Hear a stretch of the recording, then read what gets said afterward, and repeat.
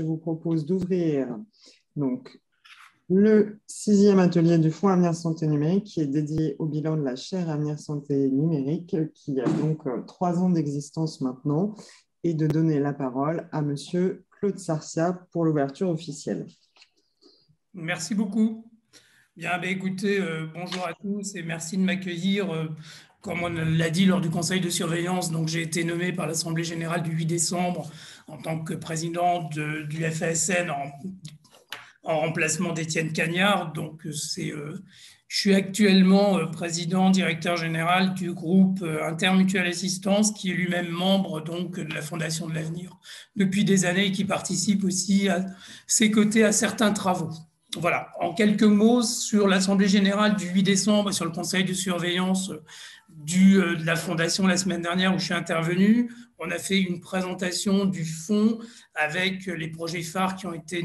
menés pendant la période triennale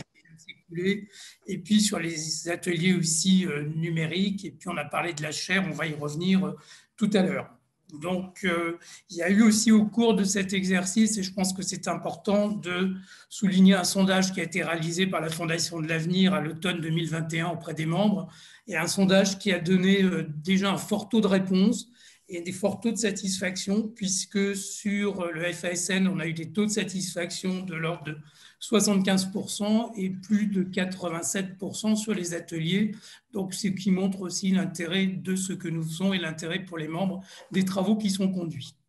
Voilà. Alors aujourd'hui, on est là pour justement parler de ces travaux euh, de la chaire euh, Avenir Santé Numérique, dont cette chaire qui a été créée, comme l'a rappelé, euh, en ouverture en janvier 2018 donc, euh, qui avait défini quatre axes de travail qu'on retrouve sur l'écran, donc je ne, vais pas les, je ne vais pas les lire. Et puis, euh, ce qui est important, c'est les travaux aussi qui ont été menés, mais on va y revenir au cours de cette matinée, puisque euh, on va avoir trois présentations normalement sur donc Geneviève de Rumeau, qui est titulaire, qui va commencer, enfin, qui va suivre mon intervention, Tuan Dion, coordinatrice au titre de l'UPEC et de l'INSERM, et puis Vincent Augusto, coordinateur au titre de l'École des mines de Saint-Étienne, qui vont intervenir pendant cette matinée. Voilà, donc je pense que c'est important. C'est euh, l'ambition aujourd'hui de la, de la chaire, c'est bien la présentation de ces travaux, c'est bien montrer tout ce qui a pu être fait, la contribution des uns et des autres. Et puis c'est aussi euh, voir comment nous allons évoluer sur euh, la période suivante pouvoir en discuter, puis euh, reposer de nouveaux, euh, de nouveaux axes de travail pour la période qui va s'ouvrir à nous. Voilà, j'ai la particularité d'être toujours très court dans mes discours, donc je vais euh, céder la parole à la personne suivante, il doit être Geneviève de Rumeau normalement, si je suis bien la chronologie de cette présentation. Je vous remercie beaucoup et à nouveau merci pour les travaux, merci pour votre participation et moi, je suis très content de vous rejoindre. Voilà, en conclusion, et je m'efface devant les talents de la faculté. Eh bien, merci beaucoup, Monsieur Sarcia, pour, euh, pour cette introduction. Donc, euh, sur euh, le passage des diapositives, j'essaierai d'être soit aidée, soit le faire directement. Donc, je suis très, très honorée d'être invitée aujourd'hui, de faire partie, partie de, cette, de cet atelier et euh, vous verrez qu'au travers des, différentes euh, fonctions que j'effectue au sein de, l'Université Paris-Est Créteil, mais également de l'INSERM, euh, c'est une, une, option tout à fait naturelle que de réfléchir à la santé numérique et d'être accompagné dans cette réflexion par, par la Fondation de l'avenir. Donc, euh, sur euh, la diapositive suivante, si vous pouvez la passer, puisque je ne peux pas. Merci. Donc, euh, après ces, trois années passées et, ces, événements sanitaires qui nous ont un petit peu secoués, il est important de réfléchir à ce qui, pour nous, se représente les défis de la chaire Avenir Santé Numérique et euh, en tant que, soignant et en tant que chercheur, ce qui représente effectivement euh, ces défis. On est dans une société euh, en mouvement, en souffrance, et le mot de vulnérabilité s'impose de plus en plus. Donc cette approche des vulnérabilités, elle est très compliquée à faire dans le temps médical dont nous disposons. elle est très difficile à faire de façon, je dirais, holistique à l'échelle d'un individu, à l'échelle d'une société, à l'échelle d'une famille. Et donc, euh, il est important de pouvoir intégrer plusieurs aspects au-delà de la pathologie d'organes, euh, intégrer euh, l'environnement de santé, ce qui est bien différent de la, pathologie d'un organe, intégrer les, les, facteurs environnementaux, intégrer les facteurs socio-économiques et intégrer également l'élément géographique dans lequel on se situe, puisque la médecine est bien différente quand on est au carrefour euh, de toutes les expertises ou de façon très isolée, loin d'un, déjà d'un premier centre médical. Et ceci s'associe à une vraie problématique de démographie médicale sur laquelle je ne vais pas insister, puisque vous voyez qu'il y a quand même des zones territoriales qui sont déjà dans une grande souffrance et euh, l'ouverture du numerus clausus euh, et euh, l'espoir d'une démographie qui augmente à l'échelle de 2030, donc d'ici assez peu de temps, ne va pas forcément assurer les services rendus tels que la population est dans l'attente de les avoir, puisque cette démographie médicale va comporter ben, des gens plus jeunes c'est-à-dire avec des aspirations différentes de la génération que je représente.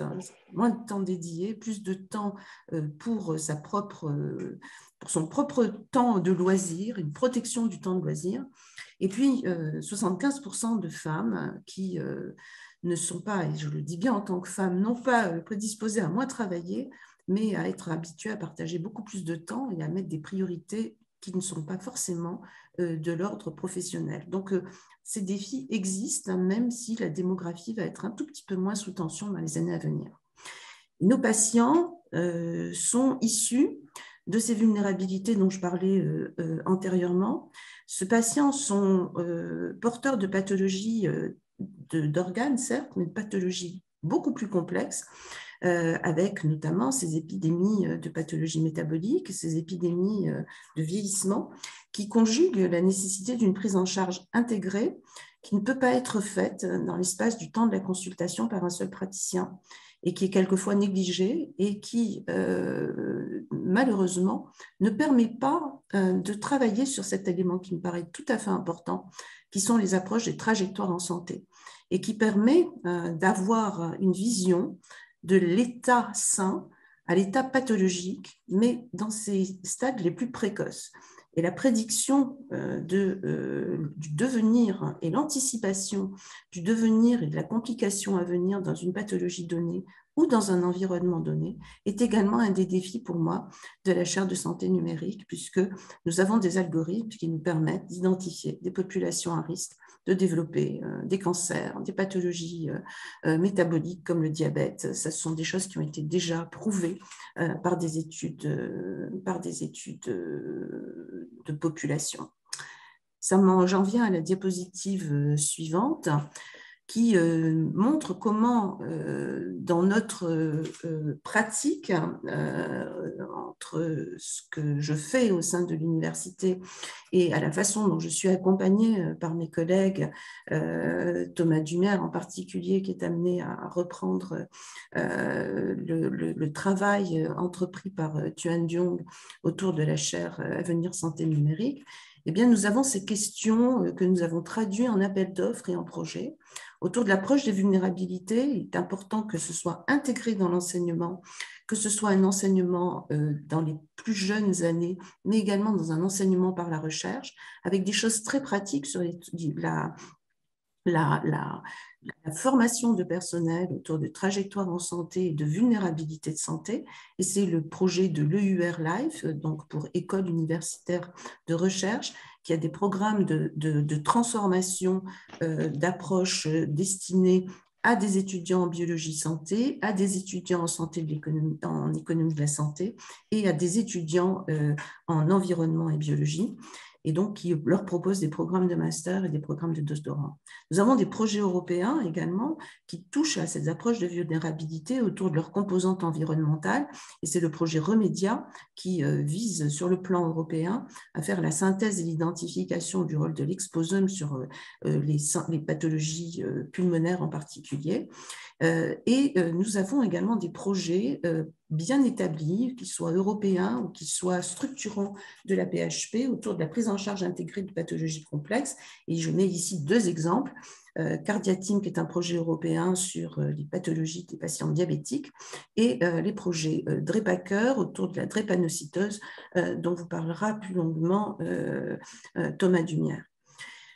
La prédiction des trajectoires en santé, ça nécessite des expertises qui sont euh, médicales, bien sûr, mais qui supposent également la participation du patient. Et pour cela, c'est tout à fait important d'avoir euh, ce mot qui est très employé par les anglo-saxons, empowerment du patient. Euh, c'est comment le patient s'approprie sa santé et avec l'accompagnement de professionnels de santé, l'accompagnement des mutuelles auxquelles il adhère, peut être acteur de sa pathologie, peut être acteur de sa santé et peut prédire ou prévenir le développement de complications. Et ça, c'est le projet euh, euh, d'un consortium euh, de FHU, pour Fédération Hospitalo-Universitaire, qui s'appelle SENEC et qui vise à comprendre le vieillissement accéléré au cours de trajectoires en santé, puisque c'est un vrai défi que nous avons actuellement, c'est-à-dire qu'on peut vivre très longtemps en, en situation saine, ce qui est évidemment la situation la plus optimale, mais on peut vieillir très précocement à l'âge de 30 ans, de 40 ans, dans euh, des conditions environnementales ou dans des conditions pathologiques. Ce qui en vient à, la diapositive suivante pour montrer comment la structure de l'UPEC est une université engagée autour de ces challenges sociétaux et environnementaux et me paraît tout à fait à même de pouvoir répondre à ces défis avec des axes que qui sont indiqués en anglais mais qui euh, peuvent être parfaitement compris. Un axe très très fort autour de santé, société, environnement, autour de la faculté de santé qui s'engage résolument autour de euh, la faculté euh, des sciences pour travailler de façon conjointe autour de ces problématiques santé, environnement euh, un axe digital, euh, sciences digitales et pratiques digitales qui associe euh, des ingénieurs, des scientifiques du numérique, mais également des spécialistes des sciences humaines et sociales. Et puis un fort axe qui touche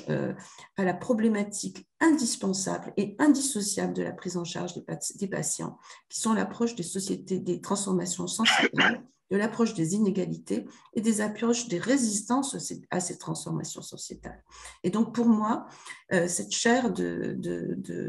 santé numérique doit, euh, dans ses actions, dans ses acteurs, dans le choix des travaux que nous allons amener, ne pas oublier ce pilier, ce dialogue indissociable entre ce que la science peut apporter avec les, impacts sociétaux. J'en viens donc à la dernière diapositive, ou l'avant-dernière, qui pose donc euh, la problématique de savoir comment on va pouvoir répondre aux piliers et euh, aux problématiques qui sont comment intégrer la télémédecine, comment intégrer euh, les téléconsultations, comment intégrer euh, le développement d'objets connectés pour euh, faciliter euh, le suivi et la, prévention des pathologies, et au-delà de tout ça, comment intégrer l'intelligence artificielle pour en faire une synthèse et apporter des solutions, puisqu'il s'agit d'être pragmatique dans les années qui viennent dans cette nouvelle chaire? Et là, nous avons euh, des euh, partenaires avec lesquels nous avons euh, déjà pris contact et sur lesquels nous souhaitons positionner avec euh, les décisions que nous prendrons avec vous, euh, des projets qui seront soutenus par sa chaire de santé numérique pour pouvoir poser le problème de la métrologie, de la sécurité, de l'intelligence artificielle. Nous avons le plaisir d'avoir des, collaborations avec l'INRIA et vous verrez euh, comment ça va se traduire de façon pratique sur la dernière diapositive. le problème de la veille technologique par rapport au développement des objets connectés qui sont proposés et mis sur le marché et comment euh, dans, cette, forêt euh, d'émergence technologique faire le choix euh, optimal, eh bien, je pense que nous avons les magasins, entre guillemets, qui nous sont fournis par Medicine, avec qui nous avons des contacts étroits, mais également des spécialistes autour de l'Institut Mines Télécom, avec lesquels nous avons des, des participations déjà dans des projets communs sur ces problématiques, notamment au niveau européen. Ceci pose des questions fondamentales qui sont tout d'abord l'éthique de l'utilisation de ces, de ces outils. Et euh, on ne pourra pas échapper à cette question. Et je pense que c'est important de s'associer avec euh, des, spécialistes du domaine, d'évaluer la contribution au parcours patient, à la fois dans son,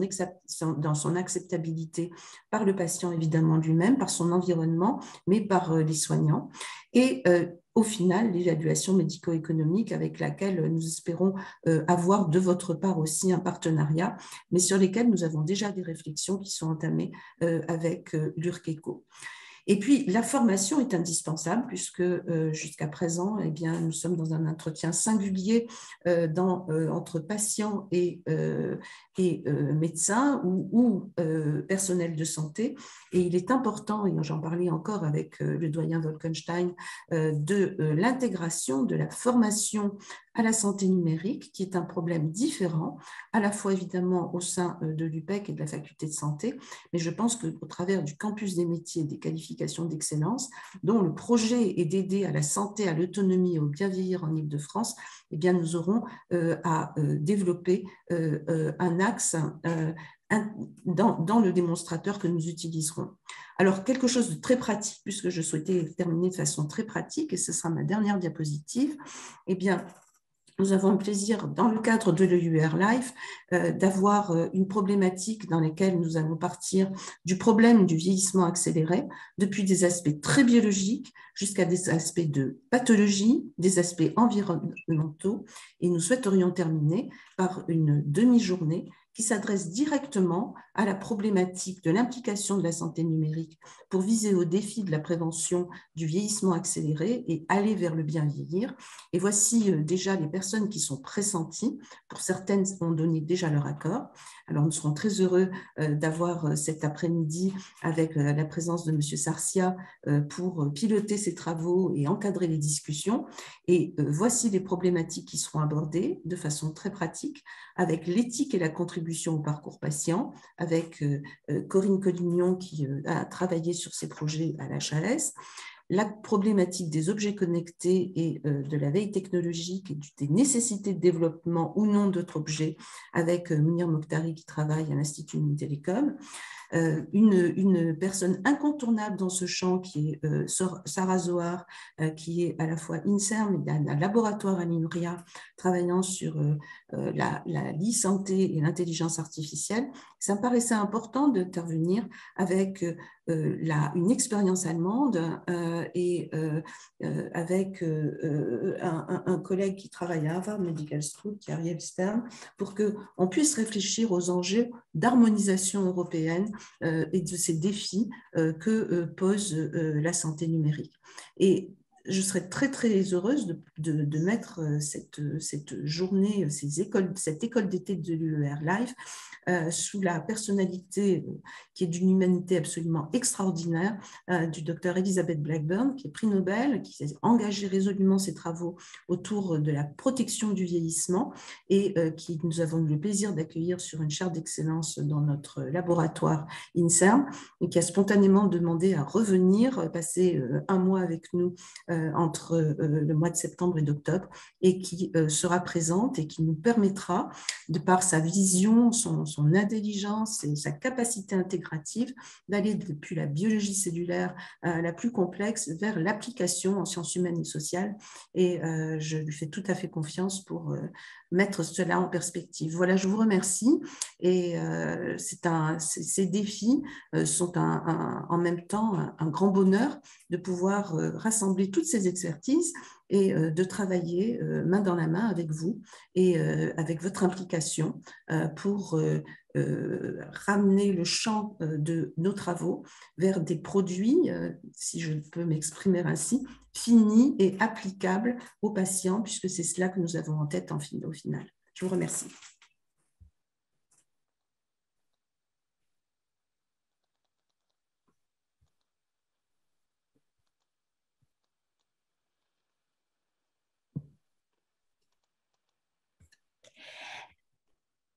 Du coup, je prends la suite. Euh, donc, Tuan Jung, je suis dermatologue Euh, je vais vous présenter donc les réalisations que nous avons faites pendant ces trois dernières années avec la, chaire santé numérique, notamment autour de la dermatologie. J'avais eu l'occasion notamment euh, de participer à un atelier qui avait été organisé par la Fondation avec les travaux euh, que nous menions en commun avec Vincent Augusto. Je voulais remercier d'abord Geneviève qui m'a confié il y a trois ans la mise en place, le lancement en fait de cette chaire santé numérique avec ses enjeux qu'elle vous a reprécisés et que nous avons notamment exploré autour du modèle de la dermatologie. Alors, je suis dermatologue et j'ai rejoint depuis l'année dernière euh, le groupement hospitalier euh, de l'Université Paris-Saclay avec notamment euh, un projet de dermatologie territoriale. Et je suis aussi avec une double casquette puisque j'avais fait mon PhD chez les ingénieurs à Centrale Supélec et c'est ce qui m'a permis en fait notamment de bien travailler sur les modèles de santé numérique. Alors, comme vous l'a reprécisé ce matin notre, notre président, euh, la chaire administrative numérique, quand elle a été euh, mise en place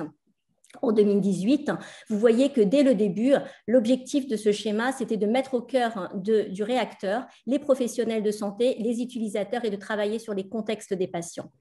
On avait déjà affiché de cet impact, euh, l'importance de l'évaluation de cet impact sur un écosystème de santé, de l'intégration de ces nouvelles technologies,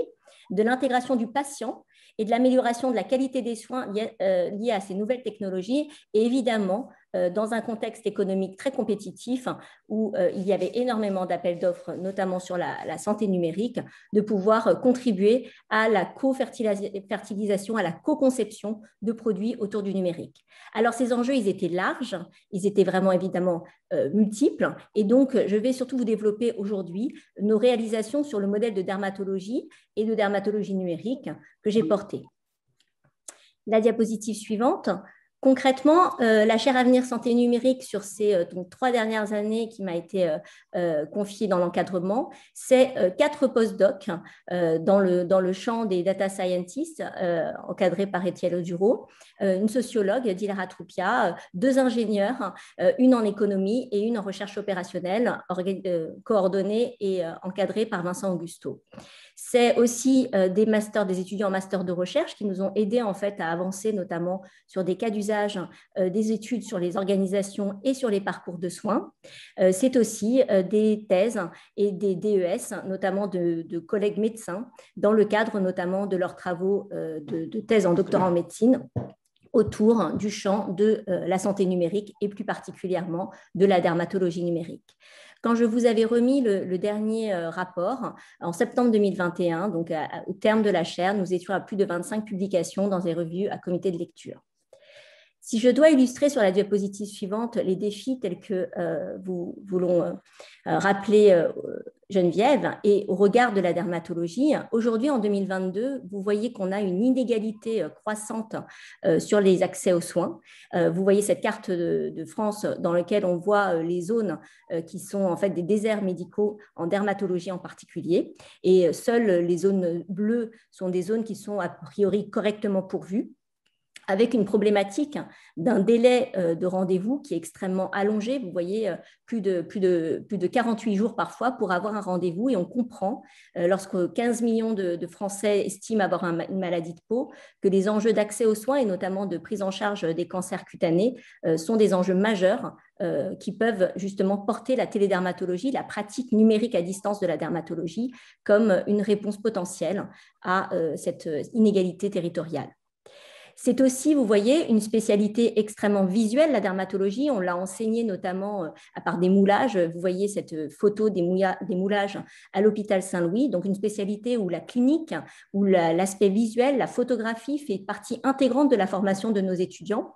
Et du coup, naturellement, euh, cela fait de cette discipline visuelle et, euh, clinique un, cas d'usage assez, pertinent finalement sur l'utilisation des nouvelles technologies avec, vous voyez là, euh, la réalisation notamment de photos à partir de votre téléphone portable pour, euh, dans un futur actuel, faire une préanalyse de vos lésions cutanées en vue euh, de savoir s'il s'agit ou pas d'une lésion maligne ou bénigne. Donc, dans ce contexte, en plus, euh, où il y a une intégration majeure maintenant de nouveaux outils du quotidien comme les réseaux sociaux, euh, comme Internet euh, pour les patients et les usagers classiques, on va dire, eh bien, la dermatologie et la dermatologie numérique constituaient un bon modèle pour travailler justement sur les impacts du numérique au sein d'une discipline. Donc le modèle de la dermatologie numérique, on pourrait finalement le résumer dans les activités classiques euh, de la dermatologie, que peuvent être la prévention, donc la prévention de l'apparition des maladies de la peau, le diagnostic, le diagnostic de ces maladies de la peau et donc aussi le suivi de ces maladies de la peau et éventuellement l'aide que peut apporter le numérique dans le traitement. Vous voyez que dans ce modèle euh, de pratique d'une discipline avec le numérique, l'utilisation euh, des téléphones portables, d'Internet et des nouveaux dispositifs de soins euh, permettent de pouvoir justement dessiner à la fois de nouvelles pratiques médicales, mais des nouvelles répartitions également du soin, avec, comme vous a exprimé Geneviève, des enjeux majeurs que vont être la formation de nouveaux professionnels de santé à la pratique de la médecine et de la médecine numérique notamment médecins et non médecins, puisqu'il y a euh, des enjeux de délégation de tâches avec l'utilisation de ces nouveaux outils. Donc, à titre personnel, euh, j'ai travaillé du coup sur ce modèle de dermatologie numérique et notamment autour de projets autour des organisations innovantes. Et donc, j'avais un projet financement à venir sur un projet euh, d'application en télédermatologie, sur euh, la question des nouveaux acteurs avec une coopération forte avec les médecins généralistes. Et donc, ça, c'est autour d'un projet notamment de PHRC national sur la prise en charge des grosses jambes rouges aiguës. Et on voit que la mise en place de ce projet de recherche notamment avec des professionnels de santé ambulatoires, des médecins généralistes, nous conduit à travailler notamment sur les réseaux de soins et sur la recherche en ville, qui en fait en soi-même n'est pas facile, mais pour lequel le numérique peut constituer un lien entre les différents euh, acteurs. Et enfin, un autre, un autre dispositif projet euh, notamment autour des nouvelles métriques qu'apporte le numérique autour de la dermatologie, euh, qui euh, seront là illustrées autour de deux projets, un EIT et un FUI, donc financés par la BPI. Et donc, ces projets que, que, vous voyez là autour de la dermatologie numérique ont fait partie des, des, des, carburants de la chaire pendant ces trois dernières années pour pouvoir porter justement l'évaluation du numérique dans un écosystème, la dermatologie et, et ses déploiements avec comme objectif de pouvoir, si je reprends la première diapo qui était les objectifs euh, de la chaire, de concevoir, d'intégrer, d'utiliser et d'évaluer les innovations à la fois organisationnelles et technologiques, du coup en santé et évidemment plus particulièrement ici en dermatologie. Alors, euh, Vincent vous illustrera euh, la recherche que nous avons pu faire aussi avec, avec la télédermatologie. Encore une fois, la télédermatologie, pour ceux qui ne, seraient pas familiers, c'est la pratique finalement de la dermatologie à distance. Donc, c'est une pratique de la télémédecine plus axée sur la dermatologie. Ça consiste essentiellement en deux modalités soit la téléexpertise, où vous voyez sur euh, le, petit schéma que le patient en fait est en présence d'un professionnel de santé et du coup les photos euh, ou données des patients sont transmises à un expert qui va réaliser l'expertise et délivrer, on va dire, la prise en charge. Mais c'est aussi évidemment, et on l'a vu avec la Covid, un modèle qui s'est développé assez, assez, rapidement, celui de la téléconsultation, avec évidemment la consultation à distance directe euh, avec euh, le patient pour une pathologie dermatologique. Alors, quand on, parle de ces nouvelles pratiques, elles mettent en jeu évidemment de nouvelles procédures, de nouvelles euh, organisations, de nouveaux processus de soins. Et vous voyez euh, là un schéma d'un processus de soins et l'élaboration au regard d'un schéma de processus de soins des outils nécessaires à pouvoir réaliser notamment euh, cette nouvelle, nouvelle pratique. Comme vous l'avez dit Geneviève, les enjeux de la santé numérique sont multiples. Ils sont évidemment sociétaux, ils sont évidemment économiques, ils sont évidemment aussi en termes de santé publique. Et euh, comme vous le savez aussi, la santé numérique en particulier euh, n'a pas comme utilisateur final le payeur et l'investisseur initial. C'est donc un, savant euh, mélange qui fait qu'il faut aujourd'hui effectivement des démonstrateurs comme celui de la chaire, des projets forts comme ceux de la chaire, pour pouvoir montrer aussi les bénéfices et les intérêts à l'échelle d'un décideur de mettre en place une organisation de télémédecine ou d'équiper des patients de dispositifs médicaux. Quand on fait donc euh, une déclinaison autour de la télédermatologie, la recherche autour de la télédermatologie et ce qui a été mené pendant ces trois ans euh, au sein de la chaire, ça a été une recherche autour de l'organisation, des utilisateurs, dermatologues et non dermatologues, des apports médicaux que pouvait avoir cette procédure, et notamment aussi des procédures, des outils. Évidemment, nous parlons d'une pratique médicale, donc l'évaluation de son efficacité, efficacité en comparaison aux soins conventionnels, et évidemment aussi son efficience, et son efficience notamment économique au regard notamment des investissements qui sont faits et euh, la question évidemment cruciale de la valorisation et des parcours de soins qui en découlent. Pour recontextualiser, Vincent le refera plus tard dans sa présentation, euh, lorsque la chaire a été conçue et mise en place, il n'y avait pas de financement de la télémédecine. Nous étions dans des financements expérimentaux autour du fonds d'investissement régional de chaque région et de quelques projets, notamment financés au, titre euh, de, financement économique euh, pour des, pour des opérateurs qui étaient des opérateurs industriels. Et donc, vous savez que les financements et l'inscription des actes de télémédecine au terme de la, CCAM ne sont intervenus que à la fin de 2018 pour la téléconsultation et en 2019 pour la téléexpertise. Euh, L'utilisation a été assez molle pendant les premières années et euh, en 2020, la Covid a percuté évidemment euh, les, utilisations de la télémédecine, avec évidemment une chance pour la France, celle d'avoir eu un cadre législatif, un cadre administratif et évidemment aussi un cadre économique, puisque en 2020, lorsque la Covid arrive en France, eh bien, nous avions au moins le cadre euh, financier débutant pour pouvoir financer la mise en place de la télémédecine. C'est ce qui explique d'ailleurs l'adoption assez rapide de la téléconsultation. Donc, euh, vous voyez, avant, la la Covid-19, la télémédecine, c'était beaucoup de la pratique euh, de, de la téléexpertise, donc de ces diagnostics sur imagerie, beaucoup de modèles expérimentaux, une, enquête que nous avions conduite auprès de la Société française de dermatologie qui nous montrait qu'on était essentiellement sur une pratique informelle et non structurée de la télédermatologie, avec majoritairement en fait une question qui était la valorisation en fait de ces avis à distance dans un contexte où il n'y avait pas toujours euh, de, financement, notamment euh, expérimentaux, liés à cette pratique. La Covid est arrivée, nous avons vu émerger euh, des, lancements de la télé,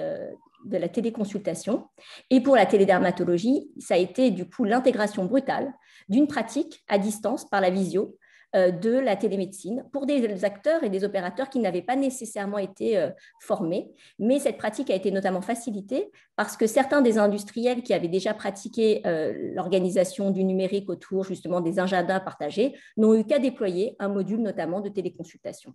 Et vous voyez dans cette enquête que nous avons réalisée après la crise, juste après la première crise Covid, que les dermatologues notamment, sur cette enquête qu'on avait de nouveau fait avec la Société française de dermatologie, souhaitaient en tout cas poursuivre la télédermatologie, en tout cas pour réorganiser leur, leur, leur pratique médicale et surtout euh, leur, leur, temps de travail. Euh, point euh, très important qui a été souligné au tout début de la présentation, car les enjeux de demain, c'est évidemment l'accès aux soins des nouveaux acteurs, mais c'est aussi une modification des pratiques de nos collègues et évidemment on a besoin d'intégrer ces, nouveaux, dispositifs dans nos pratiques quotidiennes. Alors pour ceux qui avaient, euh, je vous ai illustré euh, euh, l'intérêt en fait de ce, déploiement et aujourd'hui la, plateforme de télédermatologie Telderm couvre en fait plusieurs services de l'assistance publique des hôpitaux de Paris. Elle avait été mise en place initialement dans le service d'hôpital Henri Mondor. Elle, elle, est actuellement mise en place dans le groupement hôpital Paris-Saclay avec justement un modèle de dermatologie territoriale qui nous permet en fait d'appuyer notamment les groupements hospitaliers du territoire. Pour ceux qui avaient mis en place, donc euh, vous voyez euh, notamment euh, Mondor, la télédermatologie, eh ça a été l'opportunité, lorsque l'on était dans une phase noire qui était la Covid et où tout le monde était confiné et où il n'y avait plus, notamment pour une pratique du soin conventionnel, de praticiens qui pouvaient voir les patients dans leur cabinet. Alors, ces praticiens se sont mis à faire de la télémédecine et vous voyez que le fait de faire de la télémédecine et d'accroître leur accès aux soins leur a permis de détecter aussi l'émergence de nouveaux signes cutanés.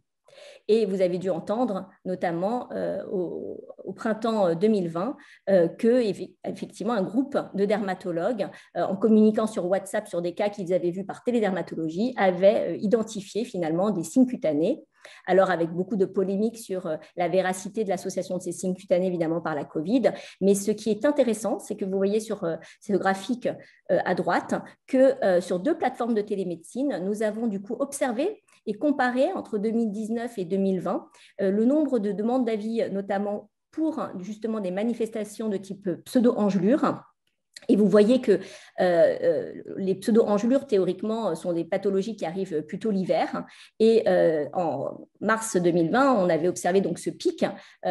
au printemps, ce qui était une période inhabituelle. Et au moment où on se demandait, en fait, durant l'année 2020, s'il y avait ou pas un lien physiopathologique et où il y avait beaucoup de recherches qui étaient faites pour comprendre les modalités de causalité, en fait, de ces, de ces, de ces manifestations cutanées avec euh, la Covid, eh bien, dans les plateformes de téléexpertise, vous voyez que les avis ont continué ou pas à se, à, se, à, se, distribuer, mais en tout cas plus de demandes que sur l'année 2019 qui est en orange. Et on a vu dans ces plateformes euh, une réascension des demandes d'avis pour ces pseudosignes cutanés. Et vous voyez que cela correspondait à euh, la période où il y avait des pics de mortalité sur la Covid. Alors cela ne peut pas évidemment montrer une, établir un lien clair entre la cause et la conséquence. Néanmoins, cela illustre l'importance, encore une fois, de déployer du numérique pour justement articuler les acteurs de soins primaires aux spécialistes et que vous voyez que lorsque vous mettez cette, cette articulation en place, eh bien, vous êtes en capacité de détecter des événements qui se passent en ville, notamment euh, pour une discipline, donc la dermatologie.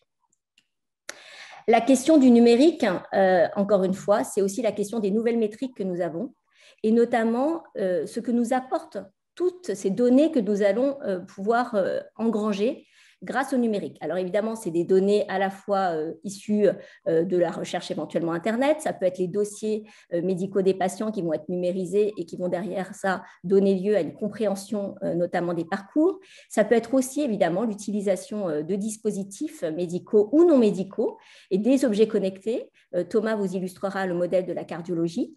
pour justement mieux comprendre, mieux connaître une maladie ou un environnement autour justement euh, de maladies de peau.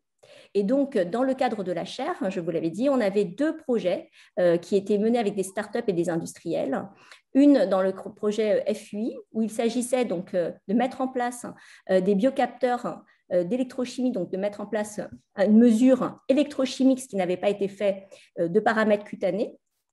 et de pouvoir justement euh, voir si on pouvait recueillir une, expression différentielle de notamment des paramètres cutanés euh, d'hydratation par euh, électrochimie en comparant trois groupes, des peaux acnéiques, des peaux normales et des peaux dites sèches. Et évidemment, euh, comme on, est là en train de faire une étude expérimentale, nous devions aussi nous comparer à des gold standards, puisqu'aujourd'hui, en fait, pour la mesure de l'hydratation de la peau, euh, ce sont des mesures euh, de laboratoire avec soit des écouvillons qui sont analysés par chromatographie ou alors simplement des questionnaires que l'on va poser aux usagers. Vous savez que cette ce pan de la compréhension notamment euh, de la, des paramètres cutanés, c'est un enjeu majeur, euh, notamment pour les industriels de la dermocosmétique. Et vous voyez un modèle là que nous vous avons présenté, dans lequel finalement l'industrie cosmétique, les questions que peut se poser l'industrie cosmétique peuvent aussi rejoindre sur la compréhension en tout cas de la peau, l'intérêt de dermatologues à comprendre justement euh, comment pourrait évaluer, comment pourrait évoluer les paramètres cutanés avec, avec, avec notamment la pollution euh, l'hydratation ou la mise en place de thérapeutiques pour euh, des maladies de peau comme euh, par exemple la dermatite atopique où on a une peau beaucoup plus sèche. Donc c'est une étude que nous avons menée notamment en 2019-2021 et dont nous avons terminé les inclusions au 31 décembre 2021 avec 60 sujets, 20 sujets dans trois bras et euh, qui est actuellement en cours d'analyse et euh, dont en fait euh, les aboutissements, ça va être pour notamment les startups avec qui nous avons travaillé, la mise en place de collaboration derrière avec de gros industriels, notamment de, la cosmétique, pour monter justement, après ce proof of concept, des études de plus grande ampleur en population réelle, dans le cadre notamment de meilleure compréhension de la peau dans d'autres pays comme en Chine et dans des pays fortement ensoleillés. Autre projet qui a été mis euh, dans le cadre de la chaire, euh, avec une collaboration forte euh, avec le CEA et une start-up, Tridimeo, qui en fait mettait en place la, la caméra multispectrale 3D. nous avons donc mené ensemble un cas d'usage, une étude notamment sur l'intérêt d'une utilisation du 3D multispectral en dermatologie. Alors, je vous avais dit que le numérique était important pour nous aider à mieux comprendre les maladies de peau. Et vous voyez aussi que euh, le numérique est important pour nous, pour nous aider à mieux mesurer euh, la peau. Et mieux mesurer la peau, ça veut dire aussi euh, pour vous ou pour nous, euh, s'il y a des études, notamment de recherche clinique ou autour d'un médicament, bah, de savoir comment on va évaluer autrement que par finalement les, des patient reported outcomes ou des, ou ou des, facteurs qualitatifs, comment on va de manière quantitative pouvoir mesurer l'efficacité éventuellement d'une thérapeutique quand on n'a pas nécessairement un, marqueur évident. Et donc là, le marqueur qu'on a utilisé, ça a été le marqueur de la peau. Donc, euh, la question était de se dire, est-ce que la 3D multispectrale peut permettre en fait une mesure automatisée euh, de, de, lésions cutanées? Et vous voyez que dans une maladie, la neurofibromatose, où vous avez des lésions comme ça en volume, eh bien, dans les études, une des méthodes était, voyez, l'utilisation d'un calque et de, de, de calipers pour pouvoir en fait calibrer un certain nombre de lésions cibles, mesurer leur taille, leur surface, leur hauteur, leur profondeur. Et euh, vous voyez les enjeux d'utiliser de 3D multispectral, c'est de pouvoir fournir immédiatement en fait une cartographie des lésions, avec du coup euh, au minimum une cartographie des surfaces et grâce à la 3D une cartographie des volumes. Vous savez en plus que quand on fait de la mesure, notamment euh, photographique, avec des essais sur une thérapeutique, par exemple, l'application d'un produit ou d'une biothérapie, notamment sur des maladies de peau, qu'il euh, va falloir qu'on détermine évidemment des lésions cibles, qu'on va faire des photos qui seront reviewées par les experts, mais que la question en fait de la qualité de la photo, de la manière dont la photo est reprise, de la variabilité euh, de l'environnement au moment de la prise de photo, fait qu'il y a forcément, en plus de cela, euh, un aléatoire lié à la mesure elle-même lorsqu'on va juste détourer des lésions sur un PowerPoint ou sur un calque ou un logiciel d'imagerie.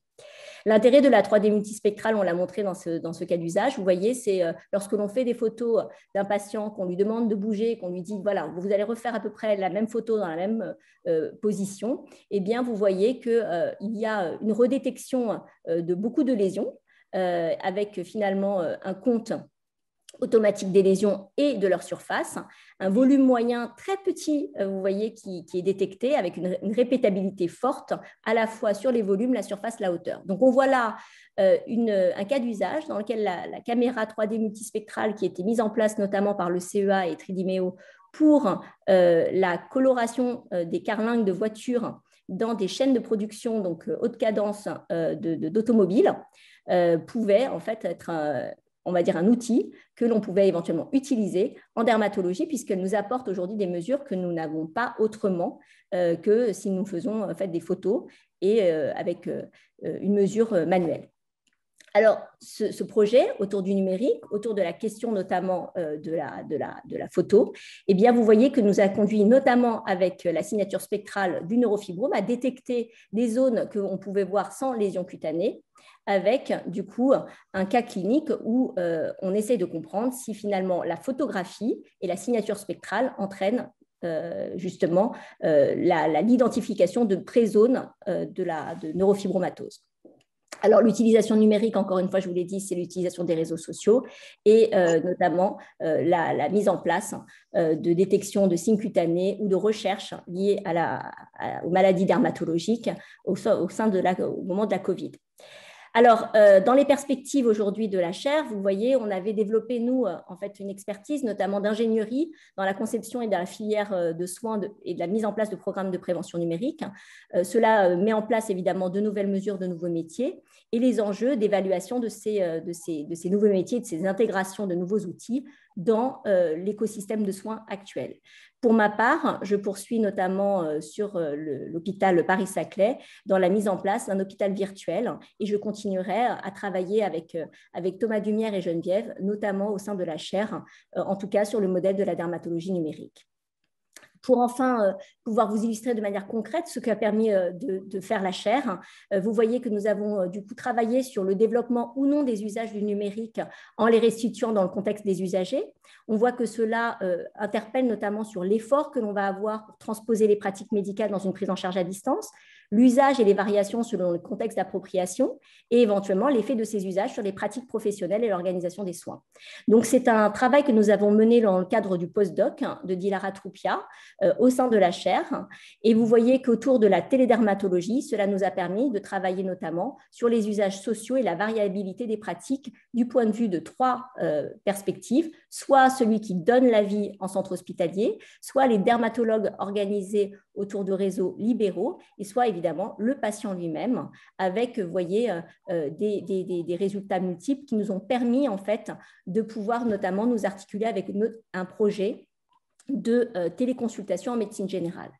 Donc en 2019-2021, la chaire a permis de ce travail sur, les usages sociologiques de la télémédecine, la mise au point en fait d'un modèle et d'une grille d'analyse hein, sur le travail lié au numérique et à l'intégration du numérique par différents types d'usagers. Cela nous a permis également de mener un programme de recherche autour en fait de différents terrains que pouvaient être les objets connectés, les dispositifs, les nouvelles pratiques médicales et de pouvoir illustrer cela notamment en comparant les différents terrains les uns avec les autres. Cela, euh, évidemment, se décline sur ce modèle de travail invisible au sein notamment euh, du LATS. Et euh, il y a d'autres travaux actuellement en cours au sein du LATS sur la téléconsultation de la santé au travail, les dispositifs d'intelligence artificielle et les dispositifs liés aux objets connectés dans l'autosurveillance.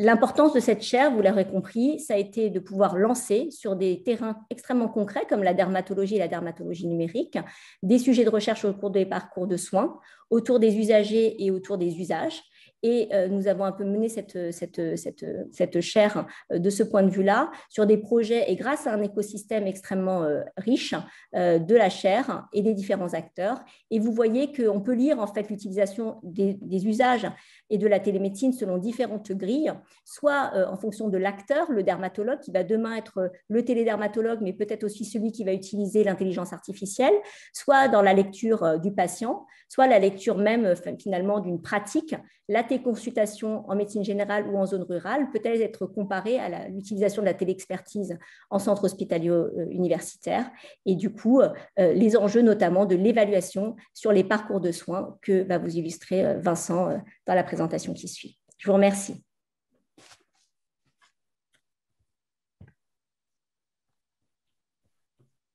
Merci, Tuan, pour la transition. donc, effectivement, à mon tour, je vais vous présenter les travaux qui ont été réalisés dans le cadre de la chaire euh, par l'école des mines de Saint-Étienne. Donc, on peut avancer. Ah, mais je peux, je peux contrôler l'écran, d'accord. Euh, donc, euh, en fait, dans cette présentation, je vais vous résumer un petit peu tous les travaux qui ont été faits, comme je viens de le dire, donc qui portent effectivement plutôt sur l'aspect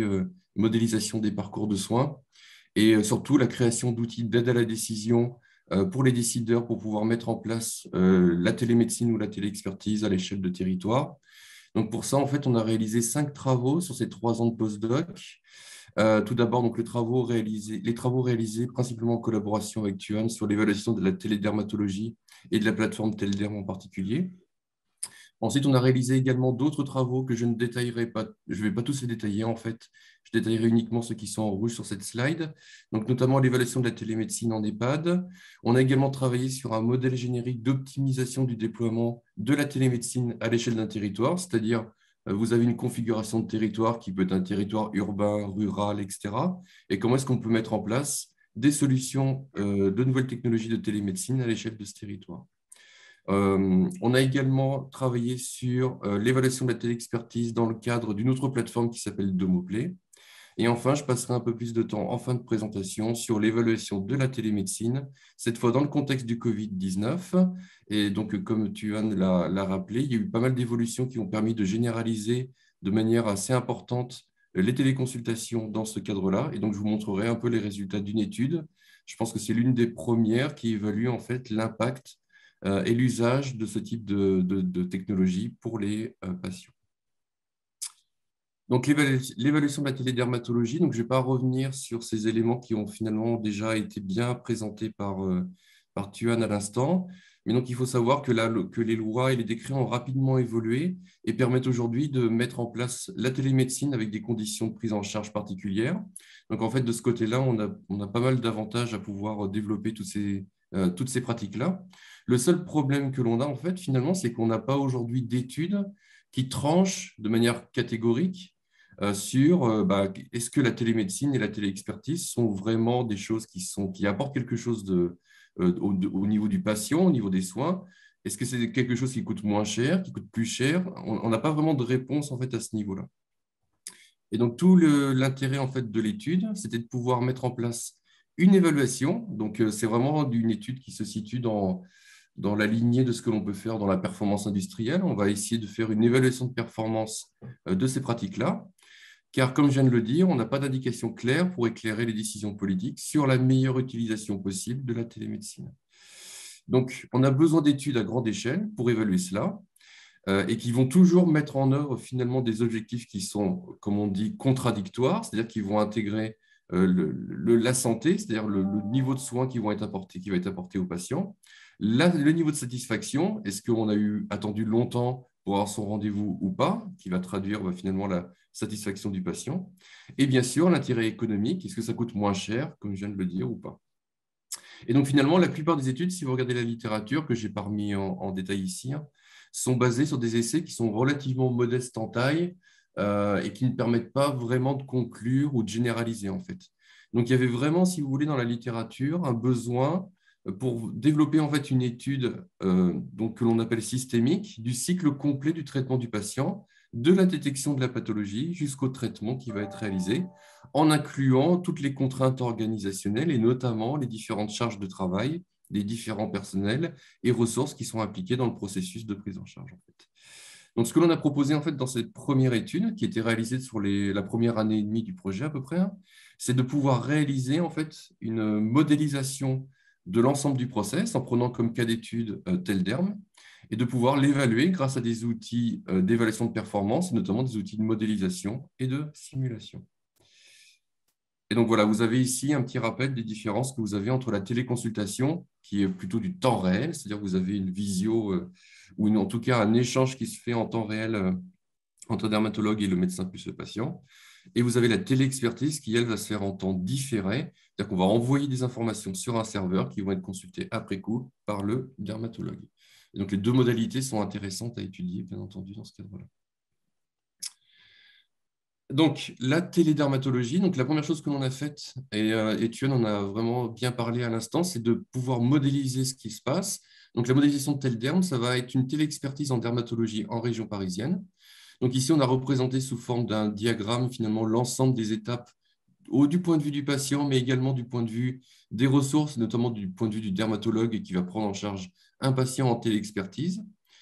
Euh, et l'idée en fait de cette modélisation, c'est de pouvoir avoir des scénarios qu'on appelle des scénarios what if, c'est-à-dire qu'est-ce qui, se passerait si je mets en place telle ou telle modalité d'organisation pour pouvoir changer mon processus de prise en charge. Un exemple très simple, Aujourd'hui, si je n'ai pas de téléexpertise en dermato, eh ben, je prends rendez-vous avec mon médecin, il va m'orienter vers un spécialiste, je vais prendre rendez-vous avec lui, je vais le voir pour traiter mon problème. Ça va prendre un certain temps en fonction des ressources disponibles sur le territoire. Si je mets en place l'innovation, mon processus va changer. Je vais prendre rendez-vous avec un généraliste qui, lui, va faire appel par téléexpertise à un télédermatologue, pour faire euh, simple.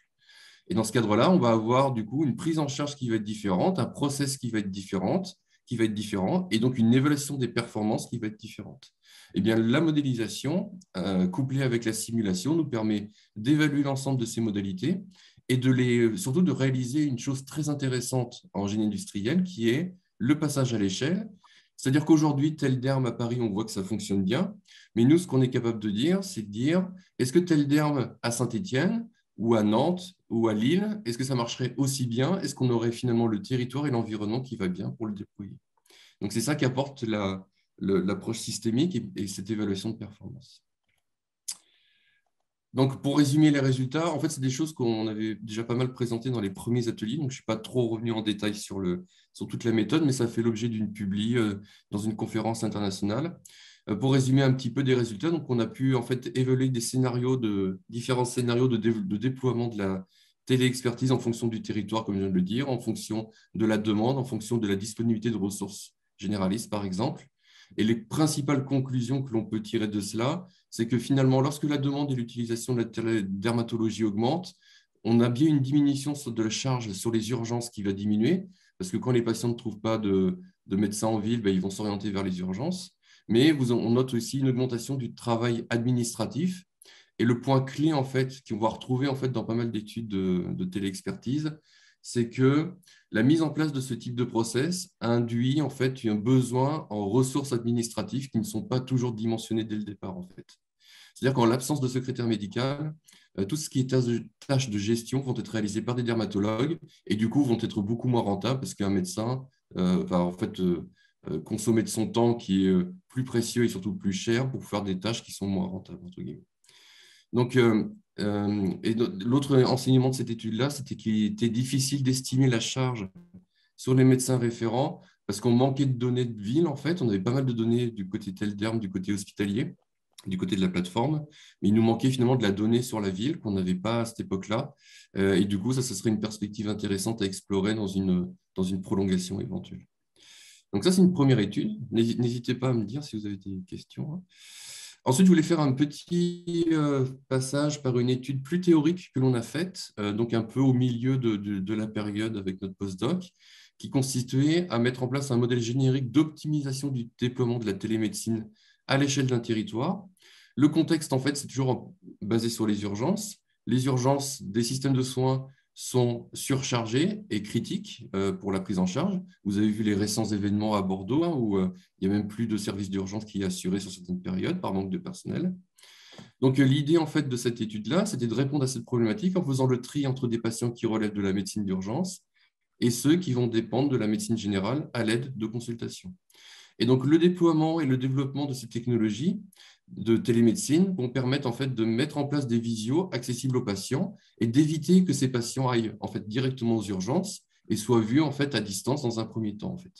Donc l'objectif,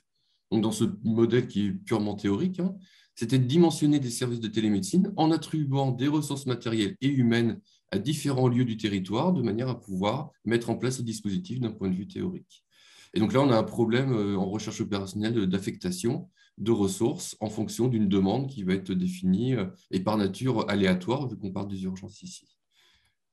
Donc pour résumer un petit peu, enfin pour, euh, je ne vais pas trop non plus vous assommer de détails techniques, mais l'idée en fait c'est qu'on a un territoire qui va être composé de trois types d'éléments. Un ou plusieurs services d'accueil d'urgence qui sont symbolisés par des petits carrés rouges sur la figure, qui vont être finalement nos hôpitaux sur le territoire. Nous avons des zones de demande qui vont nous permettre de clusteriser en fait un petit peu la, la, demande de la population en fonction des zones rurales, des zones, des zones urbaines et ainsi de suite. Et vous allez avoir des sites d'accueil potentiels de consultation en télémédecine. Par exemple, ça peut être des cabinets de médecins de ville ou encore des pharmacies d'officine. On a vu que ça pouvait se faire dans certaines régions, qui vont permettre en fait, dans une approche euh, innovante, donc l'approche classique, ça va être le patient se rend directement aux urgences en cas de problème de santé. Et l'approche innovante qu'on a voulu tester, c'est que le patient va s'orienter en tout premier lieu vers un centre de téléconsultation proche de chez lui. Et le risque que l'on a ici, c'est que si la téléconsultation induit un besoin réel d'aller aux urgences, bah, le patient va aller aux urgences juste après. Dans l'autre cas, si ça peut être traité et résolu en téléconsultation, eh ben, on a économisé en fait une entrée aux urgences. Et donc, la méthode qu'on a mis en œuvre, c'est une, méthode qui est basée sur l'optimisation stochastique, hein, donc euh, optimisation aléatoire. On va avoir deux objectifs. On va minimiser le coût total des consultations en incluant le coût, les coûts fixes en fait de, lancement et de fonctionnement des centres de télémédecine. Et un deuxième objectif qui va être de minimiser le flux des patients aux urgences. C'est un peu comme tout à l'heure, on a toujours des objectifs contradictoires qui nous vont nous permettre en fait de, discuter de solutions euh, sur un front de Pareto souvent. Donc, euh, un front va confronter en fait nos deux objectifs finalement. Et donc les contraintes, c'est qu'on doit couvrir bien sûr le plus de territoire possible, on doit respecter la capacité de nos centres que l'on va mettre en place. On a aussi une contrainte d'acceptabilité, donc on peut insérer en fait finalement du qualitatif dans ce type de modèle quantitatif. On peut insérer une variable qui va nous dire bah, est-ce qu'un patient il n'a pas une probabilité de toute façon refuser d'aller dans un centre de télémédecine même si euh, euh, il en a la connaissance des limitations de ressources et de faisabilité, et ainsi de suite. Et donc, ce type de modèle, en fait, nous permet de donner, en fait, d'un point de vue stratégique,